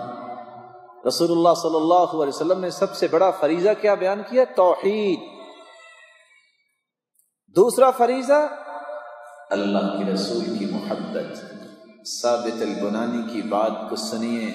انس بن مالک کو کہہ رہے تھے، اعطنی عینیک التي رأيت بهما رسول الله حتى اقبلهما ثابت البنانی شاگرد ہیں اور انس بن مالک استاد کہتے ہیں مجھے اجازت دیجیے میں آپ کی آنکھوں کو بوسا دوں، کیونکہ ان آنکھوں نے محمد مصطفیٰ کا دیدار کیا۔ اللہ کے رسول کی محبت۔ جب تک بچے کے دل میں نہیں ہوگی، وہ اللہ کے رسول کے طریقے کو پسند کیسے کرے؟ لیکن آج فطرت کی بات آئی ہے، فرائض کی بات آئی ہے۔ ایک بیٹا، جب اللہ تعالیٰ نے اس کو قوت دی ہے باپ کے چہرے پہ بھی اللہ کے رسول کی سنت نہیں ہے تو بیٹا کیا کرے؟ اور حیرانگی کی بات ہے دکان سے پانچ منٹ لیٹ ہو جائے تو کیا حالت ہوتی ہے بیٹے کی؟ نماز سے لیٹ ہو جائے، پوچھتا ہی نہیں ہے۔ اور میں یہ کہنا چاہوں گا نماز اگرچہ ارکان اسلام میں سے ایک رکن ہے، لیکن میں کہتا ہوں یہ پانچوں رکنوں کا مجموعہ ہے۔ جس کے پاس زکوٰۃ کا نصاب نہیں، زکوٰۃ اس پہ ثابت ہوتی ہے کہ نہیں ہوتی؟ وہ زکات دیتا ہی نہیں ہے، کیونکہ اس کے پاس اتنا مال نہیں ہے۔ ایک بندہ بیمار ہے، روزہ اس پہ فرض ہے ثابت ہو گیا۔ جو مستطیع نہیں، جس کے پاس مال نہیں ہے، اس پہ حج بھی ثابت ہے، فرض نہیں ہوا۔ باقی کیا بچا؟ نماز۔ توحید ایمان کے بعد جو ایک ہی بات ہے نماز، یہ فرق کرتی ہے کہ اس کا ایمان کیسا ہے۔ جس والد کو، جس والدہ کو اس بات کا احساس نہیں ہے کہ میرے بچوں کی نماز کیسی ہے، اس کو اللہ کے سامنے دو رکھتے پڑھ کے گناہوں کی معافی مانگنی چاہیے کہ اللہ تعالیٰ نے ہمیں محروم کیوں کیا ہے۔ اور امام غزالی نے سچ کہا تھا کہ کبھی نہ کہا کرو کہ میں بے نماز ہوں، یہ کہا کرو میں اتنا بدبخت اور بے نصیب ہوں کہ اللہ نے مجھے اپنے سامنے کھڑا ہونے کے لائق ہی نہیں سمجھا۔ یہ نہ کہا کرو میں بے نماز اور حقیقت جانے تو نماز میں سارے رکن ہیں۔ اللہ کی محبت ہوگی تو نماز پڑھے گا۔ روزہ صبر کو سکھاتا ہے۔ جب بھی انسان کی کیفیت بیماری کی ہو یا شدت کی ہو نماز پڑھے گا تو روزے کی کیفیت بھی اس کے اندر آ گئی زکوٰۃ صرف مالی نہیں ہے زکوٰۃ کی قسمیں، عقل کی بھی زکوٰۃ ہے۔ علی رضی اللہ تعالیٰ نے کہا کرتے تھے، کچھ لوگ مال کی زکوٰۃ دیتے ہیں لیکن عقل کی زکوٰۃ نہیں دیتے۔ پوچھا، وہ کون سی زکوٰۃ؟ ہے آپ کسی بے وقوف کی بات کو سن کے مسکرا دینا اور برداشت کر لینا، یہ عقل کی زکوٰۃ ہے۔ بہت کم لوگ دیتے ہیں۔ اتحیات اللہ والصلوات والطیبات، نماز جب پڑھے گا، قولی عبادت بھی ہر قسم کی پاکیزگی اس کو ملتی ہے۔ اور حج کا مطلب بھی قصد کرنا ہے۔ جب انسان نماز پڑھتا ہے تو اللہ کی رضا کا قصد کرتا ہے تو نماز کے اندر پانچوں چیزیں جمع ہو جاتی ہیں۔ اس لیے توحید کے بعد رسول اللہ صلی اللہ علیہ وسلم کی محبت بچوں کے دل میں پیدا کی جائے۔ کیسے پیدا ہوگی؟ سیرت کی باتیں بتائیں۔ لیکن سیرت کی باتیں کون بتائے گا؟ جس نے خود پڑھی ہوں گی، جس نے خود سنا ہوگا، جس نے خود سمجھا ہوگا، وہ بتائے گا نا سرتاج رسول یہ کرتے تھے۔ سرتاج رسول نے یہ فرمایا، صحابہ کو آپ نے فلاں موقع پہ یہ فرمایا، دوسرا کون بتائے گا؟ رسول اللہ صلی اللہ علیہ وسلم کے صحابہ اس لیے نماز کے بارے میں بڑا اہتمام کرتے تھے۔ اور حکم دیکھیے، مرو اولادکم بالصلاة وهم ابناء سبع سنین، سات سال کا بچہ نماز کا حکم دو۔ واضربوهم علیہا اذا بلغوا عشرا۔ دس سال کے ہو جائیں تو مارو۔ آج ہم نے کیا کہہ دیا؟ مار نہیں پیار۔ یہ کلمہ ویسے ہی غیر اخلاقی ہے۔ شریعت کی نبی۔ اللہ کے رسول صلی اللہ علیہ وسلم نے نعوذ باللہ غلط فیصلہ کیا۔ اگر کوئی چائے کا برتن لے کے آئے، کپ ٹوٹ جائے تو دو لگاتے ہیں۔ کیا وہ کپ جڑ جاتا ہے؟ جڑتا نہیں ہے۔ نماز نہ کو پڑھے۔ میں اگر ماروں گا تو کہیں بچے بدتمیز نہ ہو جائیں۔ صحابہ کو یہ سوچ نہیں آئی تھی؟ صحابہ کرام کو یہ پتا نہیں تھا؟ عثمان رضی اللہ تعالیٰ عنہ کا اخلاق جن سے فرشتے حیا کرتے ہیں۔ ایک صحابی نے پاؤں پہ پٹی باندھی، پوچھا کیا ہوا؟ کہا، عثمان رضی اللہ تعالیٰ نماز کروا رہے تھے، میں سب پاؤں کے ساتھ پاؤں نہیں ملایا، تو میں کوڑا مار کے زخمی کر دیا۔ کون سا اخلاق؟ اخلاق یہ ہے کہ اللہ کے سامنے گرنے والے بن جاؤ اخلاق کا مطلب برائی پہ خاموش ہونا نہیں ہے۔ اخلاق سے مراد برائی کو قبول کر لینا نہیں ہے۔ مداحنت اور مجامنت کرنا یہ اخلاق نہیں ہے۔ اخلاق یہ ہے جو امام احمد بن حنبر رحمت اللہ علیہ نے تعریف کرتے ہوئے کہا تھا۔ اخلاق یہ ہے، اکل الحلال، حلال کھایا کرو۔ وجتناب المحارم، حرام سے بچ جاؤ، یہ اخلاق ہے۔ اور وہ توسیعت والعیال اپنے گھر والوں سے اچھا برتاؤ کرنا یہ اخلاق ہے۔ رسول اللہ صلی اللہ علیہ وسلم کے صحابی جو بیان کر رہے ہیں کہ دس سال کا اس کو مارو، کبھی کسی نے مارا آج تک بچے کو؟ نہیں جی اسلام میں شدت نہیں ہے۔ تو اللہ کے اصول سے اب زیادہ سمجھدار ہے اس مار پہ بھی اجر ہے۔ کیوں تم اپنی اولاد کو صدقہ جاریہ بنانا چاہتے ہو؟ اولاد کل کو دعا کرنے والی نہ ہو۔ انسان کی جب جان نکلے گی، کیا بچے گا؟ اذا مات ابن آدم انقطع عمله الا من ثلاث، من صدقة جارية او علم ينتفع به او ولد صالح يدعو له۔ جب انسان دنیا سے چلا جاتا ہے، یہ صدقہ جاریہ رہتا ہے۔ یا نیک بچہ جو والدین کے لیے دعا کرے۔ یا وہ علم رہتا ہے باقی جس کا نفع لیا جائے۔ اگر سوچا جائے تو تینوں باتوں کا خلاصہ علم ہے۔ کیوں بلا؟ علم ينتفع، بے، ایسا علم جس سے نفع لیا جائے۔ یہ ہو گیا علم۔ من صدقت جاریہ، صدقہ جاریہ کا کوئی علم کسی کے پاس ہوگا، کوئی سمجھ ہوگی تو صدقہ جاریہ کرے گا نا۔ وہاں بھی علم کی ضرورت ہے۔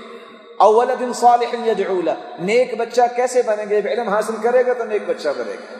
علم وہ جس کو اللہ نے اتارا ہے۔ جب تک وہ نہیں، وہ علم آتا ہی اس وقت جب انسان کے اندر نماز کا شوق، جب اس کے اندر اللہ تعالیٰ کی عبادت کا شوق آتا ہے، تو پھر اللہ رب العزت اس کے اندر یہ روشنیاں پیدا کرتے ہیں۔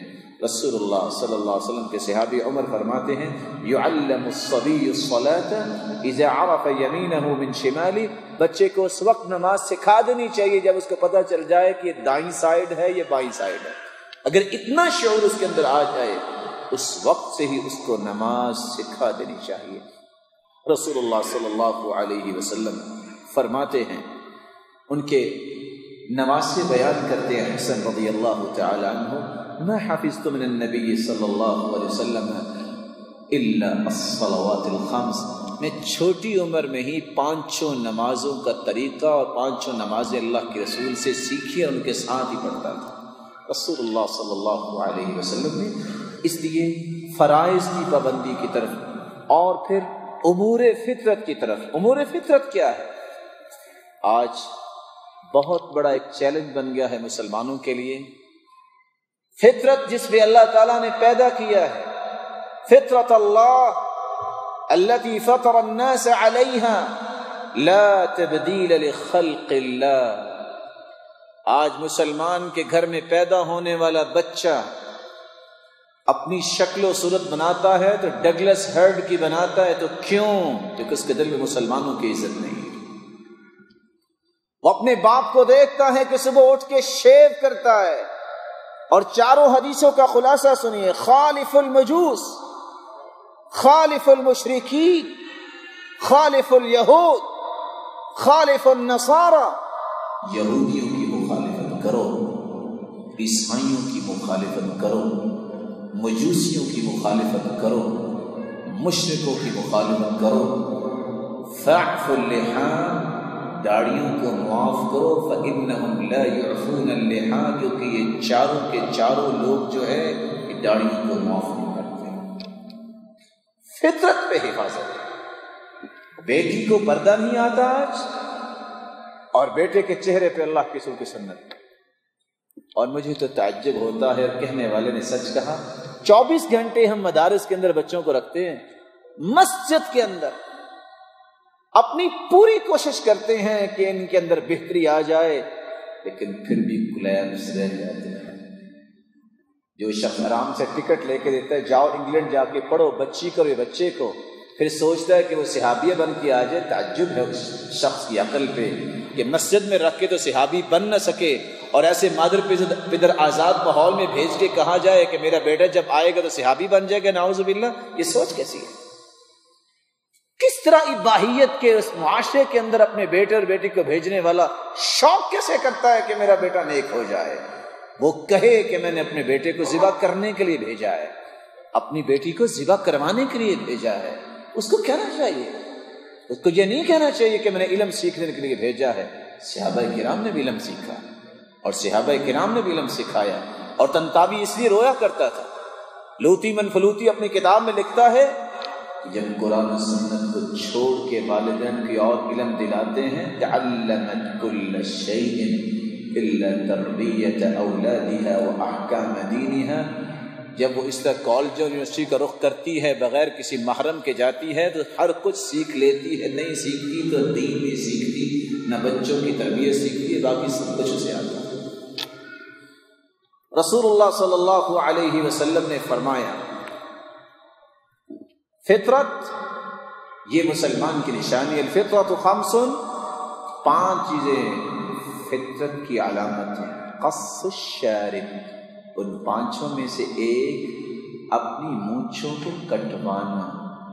آج اس کو بڑھایا جاتا ہے اور داڑھی کو کٹوایا جاتا ہے۔ میں کبھی سوچتا ہوں، اگر یہ عیب ہوتا نا داڑھی والا، تو اللہ تعالیٰ کم از کم انبیاء کو نہ دیتے کیونکہ انبیاء تو ہر عیب سے پاک ہوتے ہیں۔ سارا دن یہودیوں سے نفرت کرنے والا مجلس میں بیٹھو، یہودی یہ کرتے ہیں، امریکہ یہ کرتی ہے اس کے گھر میں تین سے چار سے پانچ بیٹے ہیں اور کسی کے چہرے پہ سنت نہیں ہے۔ کس چیز کی مخالفت کر رہے ہیں سارا دن گفتگو کرنے والا کہ عیسائیوں نے وہاں اتنے مسلمانوں کو جلا دیا، اتنے مسلمانوں سے ظلم کیے۔ اور خود یہ بات اس میرے پیارے بھائی کو یاد نہیں ہے کہ میں کس کی سنت کو اٹھائے بیٹھا ہوں۔ اللہ کے رسول صلی اللہ علیہ وسلم نے کیا فرمایا؟ فاف الحا داڑھی کو معاف کرو۔ جس بیٹے نے دیکھا ہی نہیں ہے، وہ تو جب کسی بھی داڑھی والے کو دیکھے گا، تو ڈر جائے گا وہ، کیونکہ اس نے کبھی چیز دیکھی نہیں ہے۔ اور میں تو کہاں کرتا ہوں جو آج دو چٹان کے بعد نہیں اٹھا سکتا، کل کو گناہوں کی گٹری اٹھا کے پرسرات سے کیسے گزرے گا؟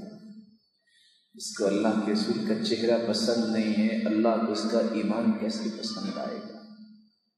اس لیے اپنے بچوں کے چہروں پہ سنت سجاؤ اور اپنی بیٹیاں جو سید زادیاں ہیں، ان عصمت کی کر بچوں کو پردہ سکھاؤ۔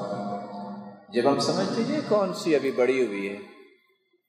پردہ تو دل کا ہوتا ہے۔ ہاں یہ شیطانی کتابوں میں ایسے لکھا ہے کہ پردہ دل کا ہوتا ہے، یہ عائشہ کو تو بات سمجھ نہیں آئی، نہ ام سلمہ کو یہ بات سمجھ آئی، نہ حفصہ و میمونہ کو سمجھ آئی۔ رضی اللہ عنہن و ارضاہن، آج ہی سمجھ آئی ہے کہ پردہ دل کا ہوتا ہے۔ رسول اللہ صلی اللہ علیہ وسلم نے صحابیات کو جب یہ حکم دیا، رات کو آیات اتری اور مدینے کے اندر روشنی ہوئی، لوگ پوچھتے ہیں، آج کیا ہوا؟ مدینہ روشن ہے۔ کہا، آپ کو پتہ نہیں صورت النور نازل ہوگی اور عورتوں نے صبح تک انتظار نہیں کیا۔ فقامت احداهن الى مرتها المرحل۔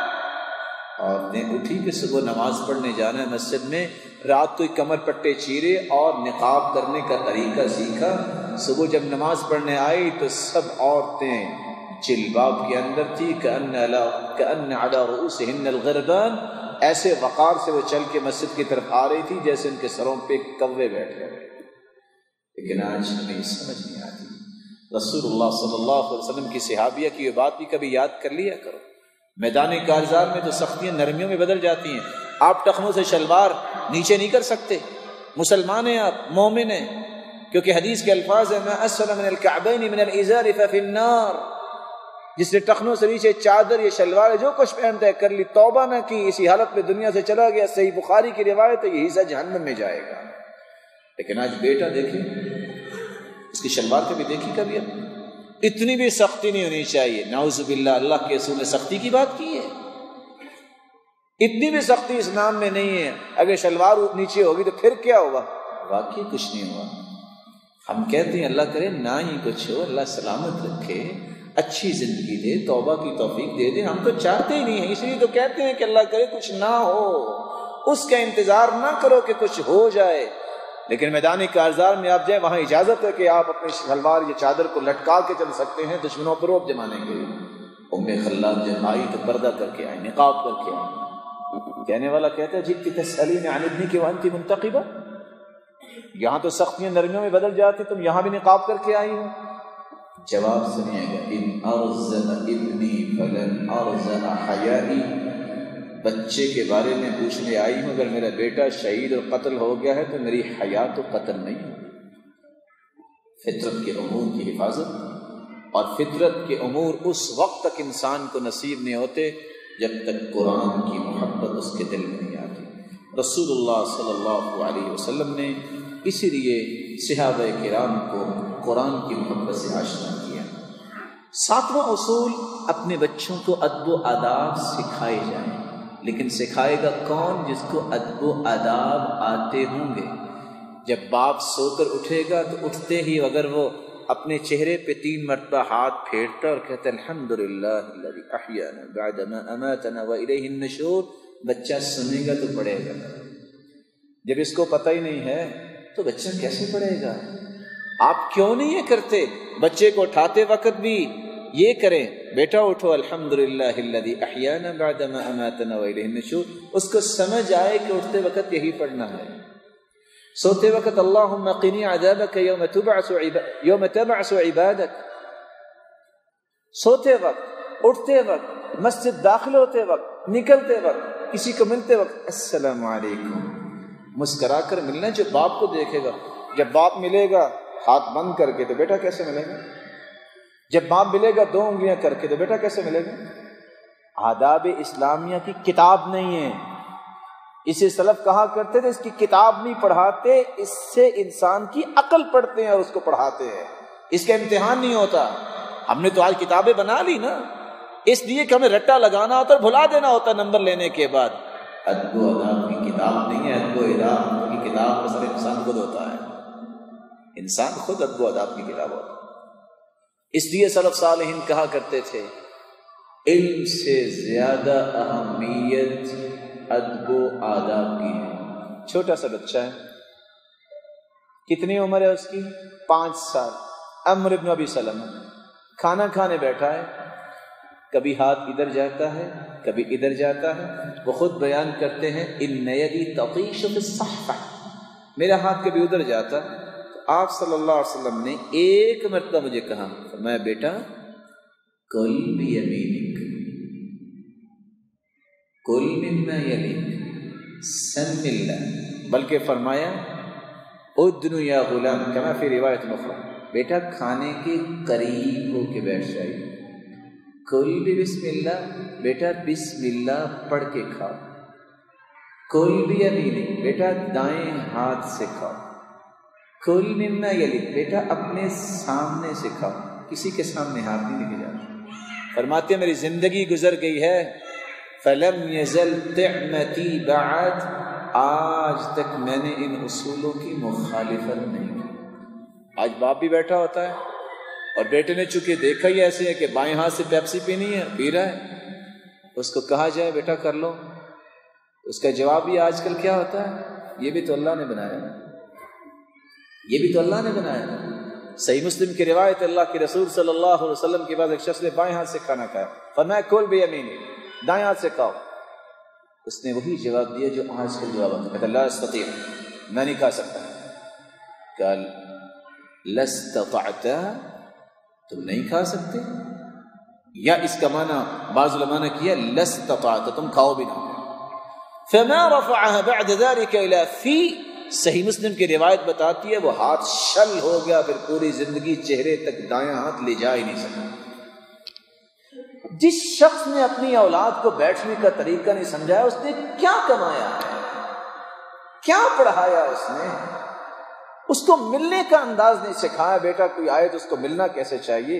اور میں اللہ کی قسم اس روایت کو جب بھی پڑھتا ہوں، اتنا دل خوش ہوتا ہے اور اسلام کی اتنی رحمت نظر آتی ہے اللہ تعالیٰ کی اتنی رحمتوں کی وسعت کا اندازہ ہوتا ہے نام مسلمین یلتقیان فیتصافحان الا غفر لهما قبل ان يتفرقا جب انسان خوشی سے مسافہ کرتا ہے۔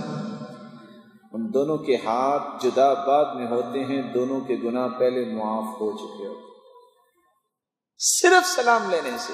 تبسم کا فی وجہ عقیق کا صدقہ۔ جیب کسی کی بھری ہے پیسوں سے وہ صدقہ کر دے۔ کوئی جیب خالی والا ہے۔ صرف ملتے وقت مسکراہٹ بکھیر دے، جتنا صدقہ کا اجر اس کو ملا ہے، اللہ اس کو بھی ادا کر دیں گے۔ کیونکہ حدیث کے الفاظ تبسم کفی ورش عقیق صدقہ۔ مسلمان بھائی کو کھلے چہرے سے مسکرا کر ملنا بھی بہت بڑا اجر ہے اور بہت بڑا صدقہ ہے۔ رسول اللہ صلی اللہ علیہ وسلم نے جہاں آداب اسلامیہ سکھائے، کس طرح آداب رسول اللہ صلی اللہ علیہ وسلم نے صحابہ کرام کو اور صحابہ کرام نے آگے تابعین کو، آپ یہ سن کے بعد پریشان ہو جائیں گے۔ سلف جب اپنے بچے کو کہیں داخل کروانے جاتے تو دو چیزیں چیک کرتے۔ اس استاد کی نماز کیسی؟ ہے اور اس کے ادب و آداب کیسے؟ ہیں وَلْيَكُنِ الْيُمْنَ أَوَّلُهُمَا تُنْعَلْ وَآخِرُهُمَا تُنْزَعْ۔ جوتا پہنتے وقت دایاں پاؤں پہلے پہنتے ہیں، اتارتے وقت بایاں پاؤں پہلے اتارتے ہیں۔ اگر بچے کو چھوڑنے جاتے، وہ جوتا پہنتے وقت بایاں پاؤں پہلے پہنتا، بچے کو واپس لے آتے، اس کو تو ادب و ادا بھی نہیں آتی، یہ سکھائے گا کیا اس کو تو یہی پتا نہیں۔ آج ہمیں کیا ہوتا ہے؟ بس ٹیوٹر چاہیے ہمیں۔ بس بچے کو پاس کروا دو متما نظر یہ۔ یہ تو چاہتے ہی نہیں کہ ہمارا بچہ اس قابل بن جائے کہ دنیا کا لیڈر بنے، وہ کائنات کو لیڈ کرنے والا ہو۔ وہ جنت کی طرف لے جانے والا ہو۔ یہ تو ہمارا متما نظر نہیں ہوتا۔ اس سوال کا جواب آپ سمجھیے۔ ایک شخص میٹرک پاس۔ پوچھا، بیٹا، سبحان ربی العلیٰ، سجدے میں کتنی مرتبہ کہتے ہو؟ کہتے تین مرتبہ۔ چھ سال بعد پھر ملاقات ہوئی۔ بیٹا، آپ کیا کر کہتے جی، ماسٹر کر لیا۔ کہتے سبحان ربی العلیٰ، کتنی مرتبہ پڑھتے ہو؟ کہتے تین مرتبہ۔ کہتے چھ سال تعلیم نے پھر کیا فائدہ دیا؟ کہتے جی بہت فائدے ملے ہیں۔ کیا فائدہ ملا؟ جیب بھر گئی۔ دین کو کیا فائدہ ہوا؟ یہ اللہ کے قریب کتنا ہوا؟ اس نے اپنی اپنی حجتیں تو قائم کر لی وقت تو گزار لیا۔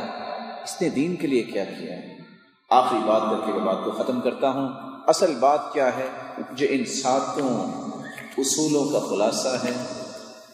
ہم مسلمان اصل میں منہجی مسلمان بننے کی کوشش نہیں کرتے۔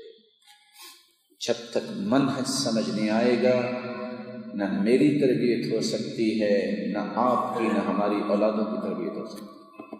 منہج کیا ہے؟ میں رب کا بندہ ہوں۔ مجھے رب کو راضی کرنا ہے۔ مجھے کائنات کے اندر سب سے خوبصورت رویے پیش کرنے ہیں۔ یہ منہج۔ اور آج یہ منہج ہم دے بھی نہیں سکتے اولادوں کو کیونکہ ہمارے پاس نہیں۔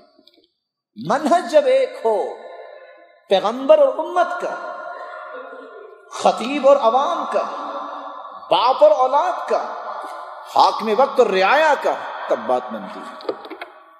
منجتا ابراہیم علیہ سات السلام کا۔ کون سا؟ قال له ربه قال اسلمت لرب العالمین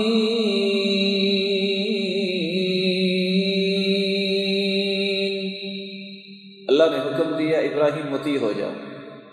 کام متی ہو گئے۔ کیسے متی ہوئے؟ فلما بلغ معه السعي قال يا بني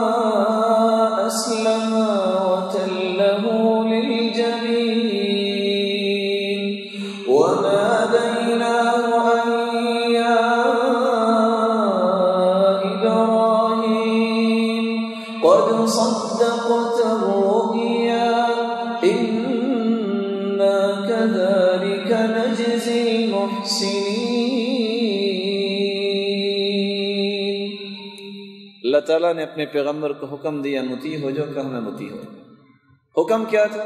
بیٹے کو ذبح کر دو۔ منہج جب ایک ہو تو سوچ بھی ایک ہوتی ہے، فکر بھی ایک ہوتی ہے۔ باپ کا منہج اللہ کی رضا۔ خواب آئی، جب منہجی والد ہوتا ہے، اپنی خوابوں کو بھی شیئر بیٹوں سے کرتا ہے بیٹا مجھے یہ خواب آئی۔ ہے اور بیٹے جب منہجی ہوں تو جب ان کو خواب آئے تو باپ سے شیئر کرتے ہیں۔ وہ رات بیٹھ کے فیس بک پہ کسی اور سے شیئرنگ نہیں کرتے۔ یہ لیک آف کمیونیکیشن نہیں ہے لیک آف مشن ہے۔ سمجھیے، باپ بیٹے کا منہج ایک تھا۔ دو لوگوں نے بیت اللہ بنا دیا۔ آج دس دس، آٹھ آٹھ بیٹے ہوتے ہیں۔ ان میں سے کسی کو توفیق نہیں کہ نماز پڑھ لیں۔ جب فکر اور سوچ اور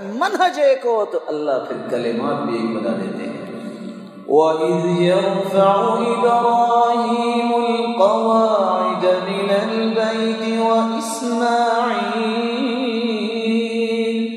رَبَّنَا تَقَبَّلْ مِنَّا إِنَّكَ أَنْتَ السَّمِيعُ باپ اور بیٹے کا مشن دیکھیے، باپ گردن کاٹنے کے لیے تیار ہے۔ تو بیٹا کہتا ہے افعل ما تؤمر۔ آپ کاٹ کے تو دیکھیے، میں کٹوانے کے لیے تیار ہوں۔ اور اگر مفسرین کی آرا پڑھ لی جائے، کہ ابا جان سیدھا نہ لٹائیے مجھے، کہیں آپ کو ترس نہ آ جائے، اللہ کے حکم میں کوئی خلل نہ آ جائے۔ باپ کاٹنے کے لیے تیار ہے تو بیٹا کٹوانے کے لیے تیار ہے۔ کہ مشن ہے۔ آج باپ کا مشن مشرق کی طرف ہے اور بیٹے کا مشن مغرب کی طرف ہے۔ تربیت کیسے ہوگی؟ سوچ اور باپ کو خواب آئی، بیٹے سے شیئر کی۔ اور دوسری طرف بیٹے کو خواب آئی، مشن ایک تھا، باپ سے شیئر کی۔ قال يا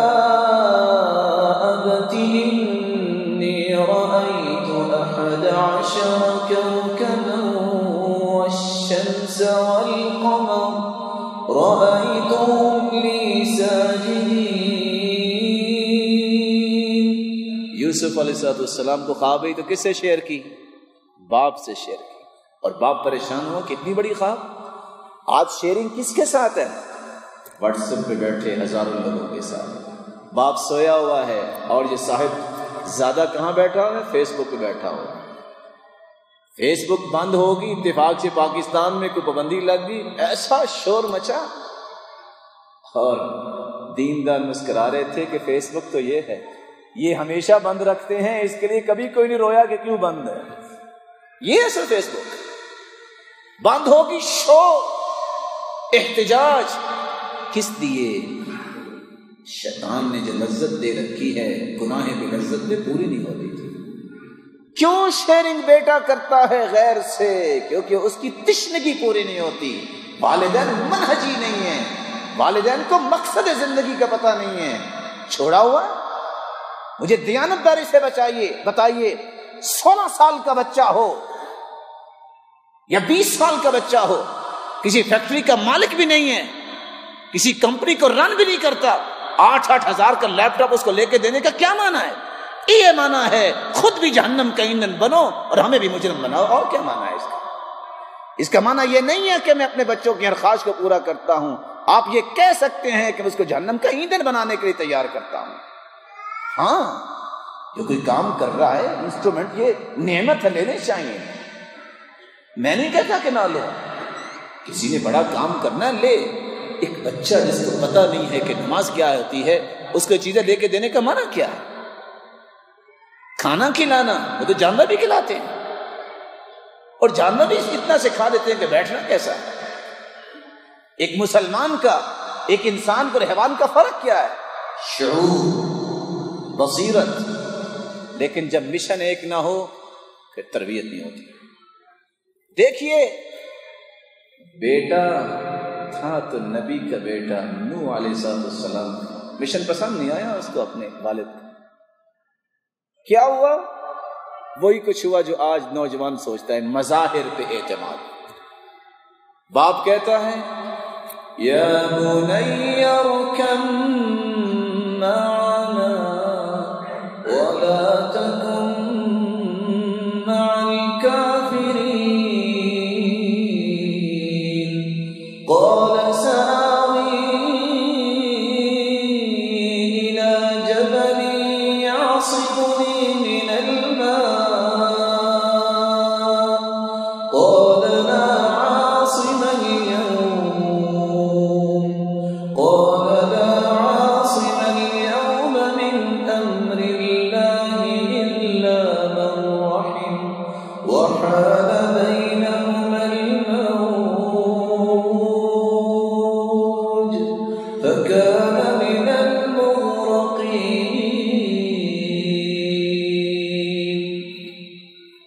بچوں کو سمجھ نہیں آتی کہ باپ کیا کہہ رہا ہے۔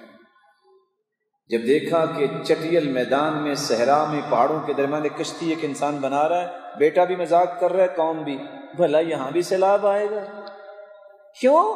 مذاہب نظر آتے ہیں کہ سیلاب یہاں کیسے آئے گا پہاڑوں پہ؟ لیکن وہ کس کے حکم سے کشتی بنا رہے تھے؟ اللہ کے حکم سے۔ بیٹا، سوار ہو جاؤ۔ نہیں جبل۔ پہاڑ پہ چڑھ جاؤں، کبھی پہاڑ پہ بھی آئے گا۔ پہاڑ پہ بھی پانی آئے گا۔ وہی کچھ ہوا۔ آخر اللہ نے عبرت بنا دیا۔ اور حیرانگی کی بات ہے، جب یہ آیت انسان پڑھتا ہے تو رک جاتا ہے۔ جب کہا، یا رب، اے اللہ، ان وعدک الحق، تیرا وعدہ تو سچا یہ میرا بیٹا ہے۔ تو اللہ نے کیا فرمایا؟ قال، یا نوح انه ليس من اهلك تیری اہل میں سے ہے ہی۔ نہیں سچ بتائیے بیٹا نہیں تھا؟ انه عمل غیر صالح، اس کے عمل نیک نہیں ہے ایسا شخص حرم نبوت میں اس کا شمار کرنا جو ہے وہ ٹھیک نہیں۔ ایک اولاد جس کے لیے ساری زندگی باپ مرتا ہے، کیا کچھ کرتا ہے؟ وہ دین پہ نہیں چل رہی اس اولاد کا فائدہ کیا ہے؟ کیا اس سے لینا چاہتا ہے وہ؟ حق یہ ہے، اس کو حلال روزی کھلائی ہے، اس کو دین پہ لگائے یہ کوئی احسان نہیں ہے کہ ان کے جسم بڑے کر لیے ہیں، یہ جانور بھی کرتے ہیں۔ یہ پرندے بھی اپنے بچوں کو خوراک دیتے ہیں۔ تیری خوراک بصیرت کی ہونی چاہیے، شعور ہونا چاہیے۔ اور میں تو کہا کرتا ہوں، زوجین کا بھی مشن اگر ایک نہ ہو تو پھر بھی تربیت نہیں ہوتی۔ سبب کیا ہے؟ وضرب الله مثلا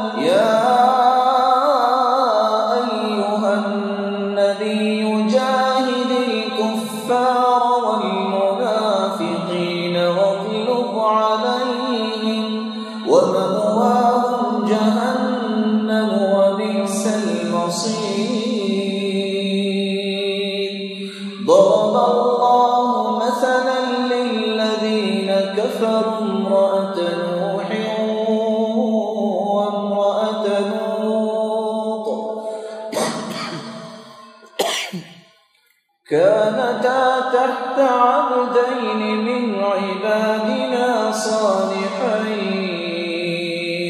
فخانتاهما. نبی کی بیوی. نوح اور لوت علیہ السلط والسلام. اور قرآن کہتے دونوں نے خیانت کی. تفسیریں اٹھا کے دیکھی، انہوں نے چوری نہیں کی تھی.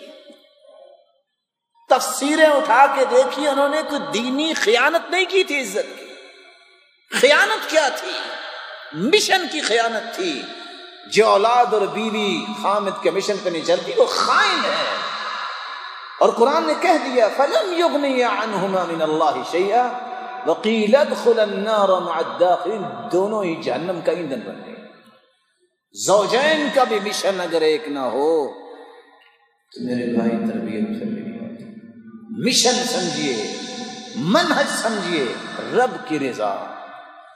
ایک بہترین مسلمان بننا۔ جب تک یہ مشن سمجھ میں نہیں آئے گا، تربیت کے سارے پہلو کتابوں میں لکھے تو نظر آئیں گے، زندگیوں میں نہیں اترتے۔ اگر مشن ایک ہو، وہاں مقابلہ نہیں ہوتا۔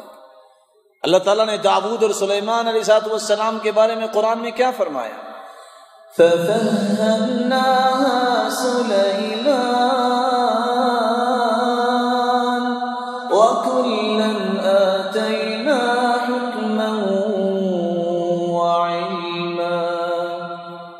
دونوں نبی؟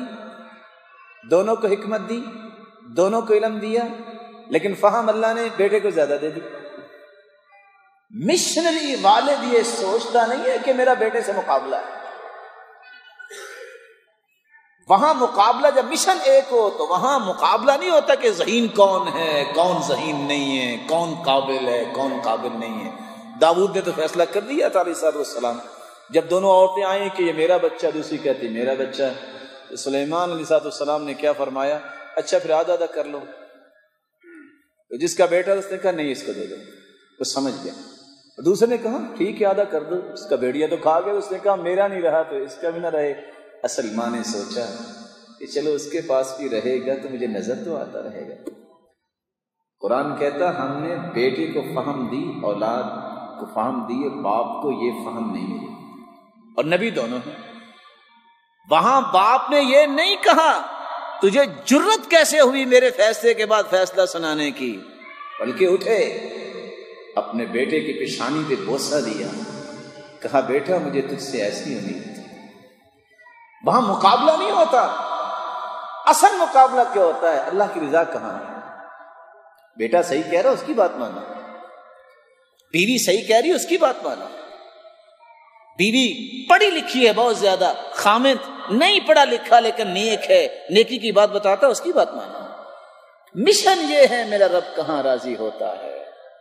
الحق ابلج ولو ظهر على يد غيرك حق واضح ہونا چاہیے۔ وہ آپ کے ہاتھوں سے نہیں ہوا، تو کسی اور کے ہاتھ سے ہو گیا، تو حق کو پسند کرو۔ رسول اللہ صلی اللہ علیہ وسلم نے تو اس مشن پہ تیار کیا تھا۔ نتیجہ کیا نکلا؟ ماں سے بڑھ کے کوئی رشتہ ہے؟ جب سعد رضی اللہ تعالیٰ عنہ کی ماں نے کہا کہ بیٹا دین چھوڑ دو وگرنہ میں بھوکی مر جاؤں گی۔ دیانت داری سے بتائیے ماں سے بڑھ کے رشتہ کون سا اللہ تعالیٰ نے پیدا کیا؟ اور واقعی اس نے بھوک ہڑتال کر دی؟ جب دیکھا کہ ماں تو واقعتاً پکی ہے۔ فانطلق سعد۔ خون کی محبت صحابہ میں نہیں تھی۔ یہ آٹھویں محبت ہے، یہ جانور کو بھی ہوتی ہے۔ ان کو وجدانی محبت تھی۔ وجدانی محبت ہوتی ہے اللہ کی رضا کے لیے محبت۔ یہ میری اولاد ہے، اس کو جہنم سے بچانا ہے۔ اٹھے۔ اور سعد نہیں اٹھے تھے فانطلق سعد اللہ بل جبل، یہ ایمان کا ایک پہاڑ اٹھا تھا۔ اور کیا کہا؟ یا اما، او میری ماں، لو ان لک مئت نفس۔ میری ماں تیری ایک جان ہے۔ نا اگر اللہ تجھے سو جانے دے دے تخرج امامی نفسا نفسا، سو کی سو جانے میرے سامنے نکل جائیں، میں برداشت کر لوں گا، دین نہیں چھوڑ سکتا۔ ہم کہاں کر رہے ہیں باپ سے بڑھ کے کون سا رشتہ ہے؟ جب عبداللہ بن ابئی بن سلول رئیس المنافقین نے کہا تھا، لَيُخْرِجَنَّ الْأَعَزُّ مِنْهَا الْأَذَلِ۔ ہم مدینے جا کے ذلیل لوگوں کو نکال دیں گے، مقصود کون تھا؟ اللہ کے رسول کے بارے میں اس نے یہ غلط الفاظ بولے۔ بیٹا اٹھا، مدینے کے بعد کھڑا ہو گیا۔ باپ کو کہتے ہیں، مانو تم ذلیل ہو اور اللہ کے رسول عزت والے۔ اللہ کے رسول کے پاس آ کے اجازت مانگی، اجازت دیجیے، میں اس کی گردن اتار کے آپ کے قدموں میں ڈھیر کر دوں۔ فرمایا، یہ کام نہیں کرنا۔ رشتہ والد کا ہے۔ کیوں نہیں پرواہ کی؟ اس لیے آتفی محبت نہیں تھی، وجدانی محبت تھی۔ ابن القیم نے اس لیے محبت کی دو بڑی قسمیں لکھی ہیں آتفی خونی محبت، چچا ہے، بیٹا ہے، بیٹی ہے۔ وجدانی محبت، میں نے ان کو جہنم سے بچانا ہے، یہ میری اولاد تو ہے، لیکن اس وقت ہی مجھے فائدہ دے گی جب یہ جنت کا حقدار بن جائے گا بیٹے سے بڑھ کے کون ہو سکتا ہے؟ ابکر صدیق رضی اللہ تعالیٰ عنہ کا بیٹا کیا کہتا ہے کہ میری تلوار کے نیچے بڑی مرتبہ ہے میں نے باپ سمجھ کے چھوڑ دیے۔ اگر تم میری تلوار کے نیچے آ جاتے نا تو آج مجھ سے بات کرتے نظر نہ آتے محبت ہے۔ عمر رضی اللہ تعالیٰ عنہ کو صحابہ نے باندھا ہوا، ایک صحابی گزر رہا ہے، ان کا بھائی، کہا، اس کو کس کے مان دو اس کی ماں بڑی امیر ہے، بڑا فدیہ دے گی۔ کہا، تم کہہ رہے ہو؟ کہا جی میں ہی کہہ رہا ہوں۔ کہ تم میرے بھائی نہیں ہو؟ کہا ایمان لے آؤ تو بھائی ہو۔ آٹھویں محبت سے تربیت نہیں ہوتی۔ کیا کریں؟ جی بیٹا جو ہوا، پھر بیٹی جو ہوئی۔ چلو، ایک ہی کام ہے، یہ تربیت کر لو، یہ ساری زندگی رو لو۔ دونوں میں سے ایک چیز اختیار کرنی پڑے۔ اور زندگی میں دو مصیبتیں آتی ہیں۔ انسان کو کسی ایک کو سینے سے لگانا پڑتا ہے۔ یا دین کی مصیبت قبول کر لو، یا دنیا کی مصیبت قبول کر لو۔ میں مثال دوں گا۔ یوسف علیہ السلاۃ والسلام کو عزیز مصر کی بیوی نے کہا تھا، یا جیل یا برائی۔ انہوں نے کیا کہا تھا؟ قال رب السجن احب إلي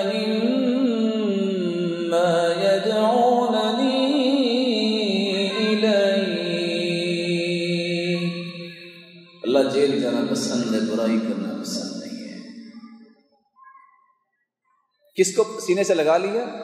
دنیا کی مصیبت، دین بچا لیا۔ اور اگر سوچئے، اگر اس کی بات مان لیتے، نبوت کا درجہ کتنا بڑا ہے، اس سے محروم ہو جاتے۔ آج کسی کے گھر میں بیٹا نہیں ہوتا، دو مصیبتیں ہیں۔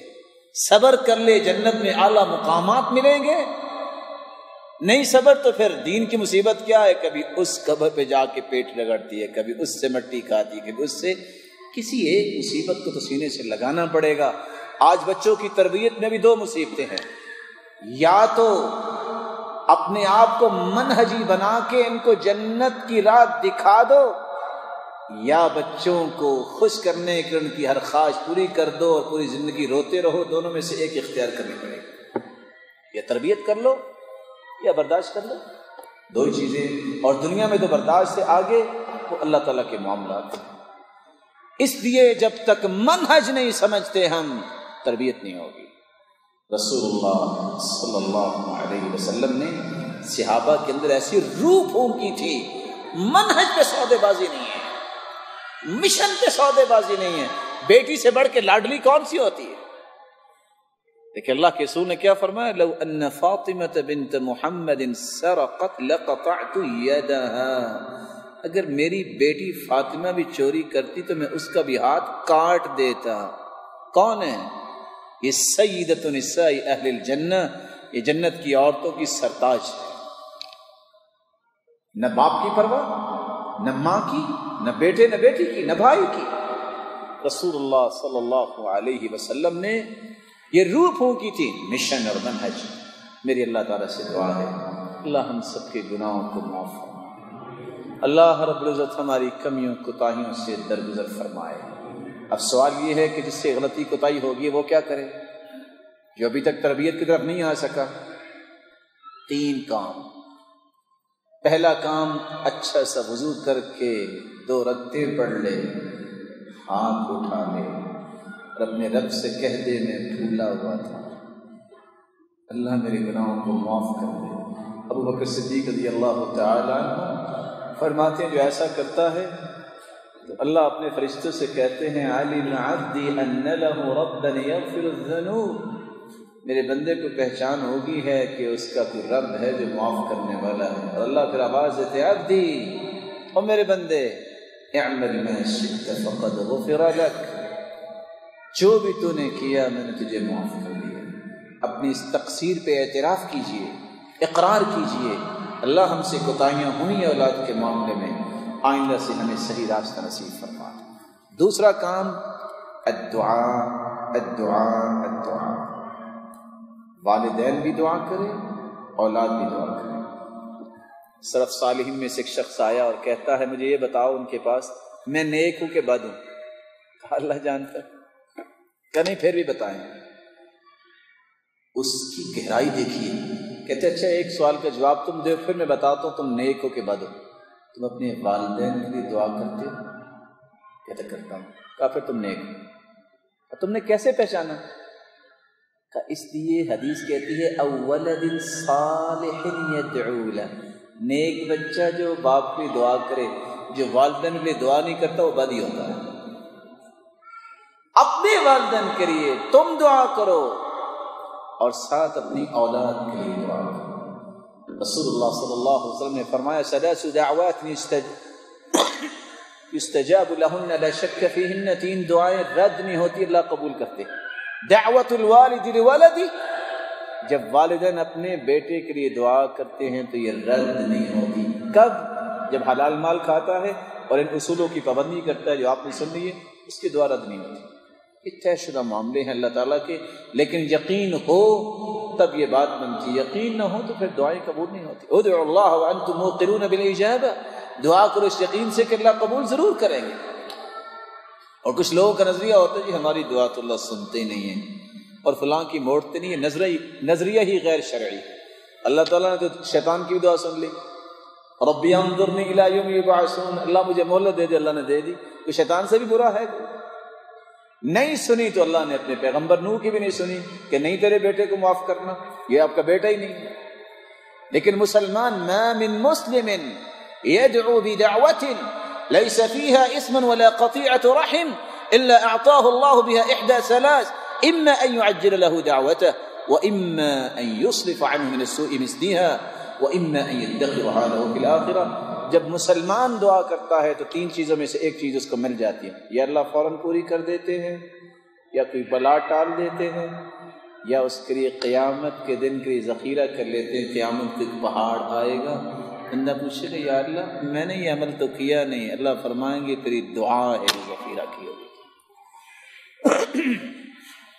تیسرا کام، دعا کے بعد پلاننگ کریں۔ اخلاق، نرمی اور اصول کی پابندی۔ اصول پہ سودے بازی نہیں اور اصول پہ سودے بازی نہیں تو ساتھ اپنے اخلاق کو بھی خراب نہیں کرنا۔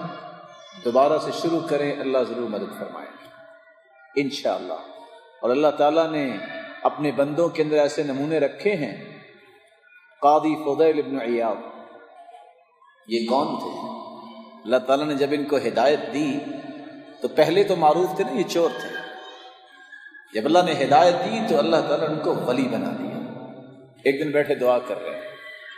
یا اللہ، صرف دو دعائیں۔ یا اللہ، میرے بچے کو مجھ سے بھی نیک بنا دے، میں تیرے ہر فیصلے پہ خوش ہو جاؤں۔ پہلی دعا۔ دوسری دعا، یا اللہ مجھے جنتی بنا دے، میں کبھی گناہ نہیں کروں۔ دعا کی، رات سوئے، صبح اٹھ کے دیکھا تحجد کے لیے اٹھے کہ بیٹا تحجد میں کھڑا، قرآن پڑھ کے رو رہا ہے۔ وہاں ہی سجدے میں گر گئے۔ اللہ تو نے اتنی جلدی دعا قبول کر میں بھی میرے مالک، تیرے ہر فیصلے کو خوشی سے قبول کروں گا۔ کچھ وقت گزرا، بیٹا فوت ہو گیا۔ لوگوں نے آ کے اطلاع دی کہ بیٹا فوت ہو گیا۔ تو مسکرا کے کہتے ہیں الحمد للہ لوگوں نے خیر بہت برا محسوس کیا کہ یہ کیسا انسان ہے، بیٹا فوت ہو گیا، اتنا نیک اور یونیک۔ اور کہتے الحمد للہ کہا، تو میں نہیں پتا میرے میرے رب کے ساتھ وعدے کیا تھے۔ جب میرے رب نے میرا وعدہ پورا کرتے وقت دیر نہیں لگائی تو اس کا یہ پہلا فیصلہ تھا نا پسندیدہ میں اس کو مسکرا کے قبول کرنا میں تو اب کہتا ہوں، یا اللہ، میرا دوسرا فیصلہ پورا کر دے، میں جب تک زندہ ہوں، تیری نافرمانی نہیں دعا کریں، دعا کے ساتھ کوشش کریں۔ اللہ رب العزت ہم سب کو توفیق عطا فرمائے۔ الہ العالمین، جتنے یہ بات سن رہے ہیں، سب کو اپنی رحمتوں میں لگے سب کو برکتوں سے نواز، سب کے گناہوں کو معاف فرما۔ مولا کریم، جن کی اولاد ہیں، ان کی اولادوں کو نیک بنا، دست و بنا، آنکھوں کی ٹھنڈک بنا سب کا جاریہ بنا۔ الہ العالمین جو بے اولاد ان کی جوڑیوں کو بھی باغوں میں الہ العالمین جو مال والے ان کے مال میں برکت فرما تو فتن اور آزمائشوں سے بچاؤ۔ اور جو بے روزگار ہیں، تو ان کو بھی تونگر بنا اور جو کسی مصیبت میں، ان کی مصیبت کو خوشیاں بنا کسی تنگی میں، ان کی تنگی کو آسانیاں بنا الہ العالمین مخلوص کے غبی خزانے سے مدد فرما اور جب تک رکھنا ایمان اور تقوی کے ساتھ رکھنا جب بلانا تو ایمان کی خوبصورت کیفیت میں بلانا اور قیامت کے دن اپنے محبوب کے رفاقت نصیب فرما اور جنت الفردوس میں اپنے دیدار کا مستحق بنا وآخر دعوانا الحمد لله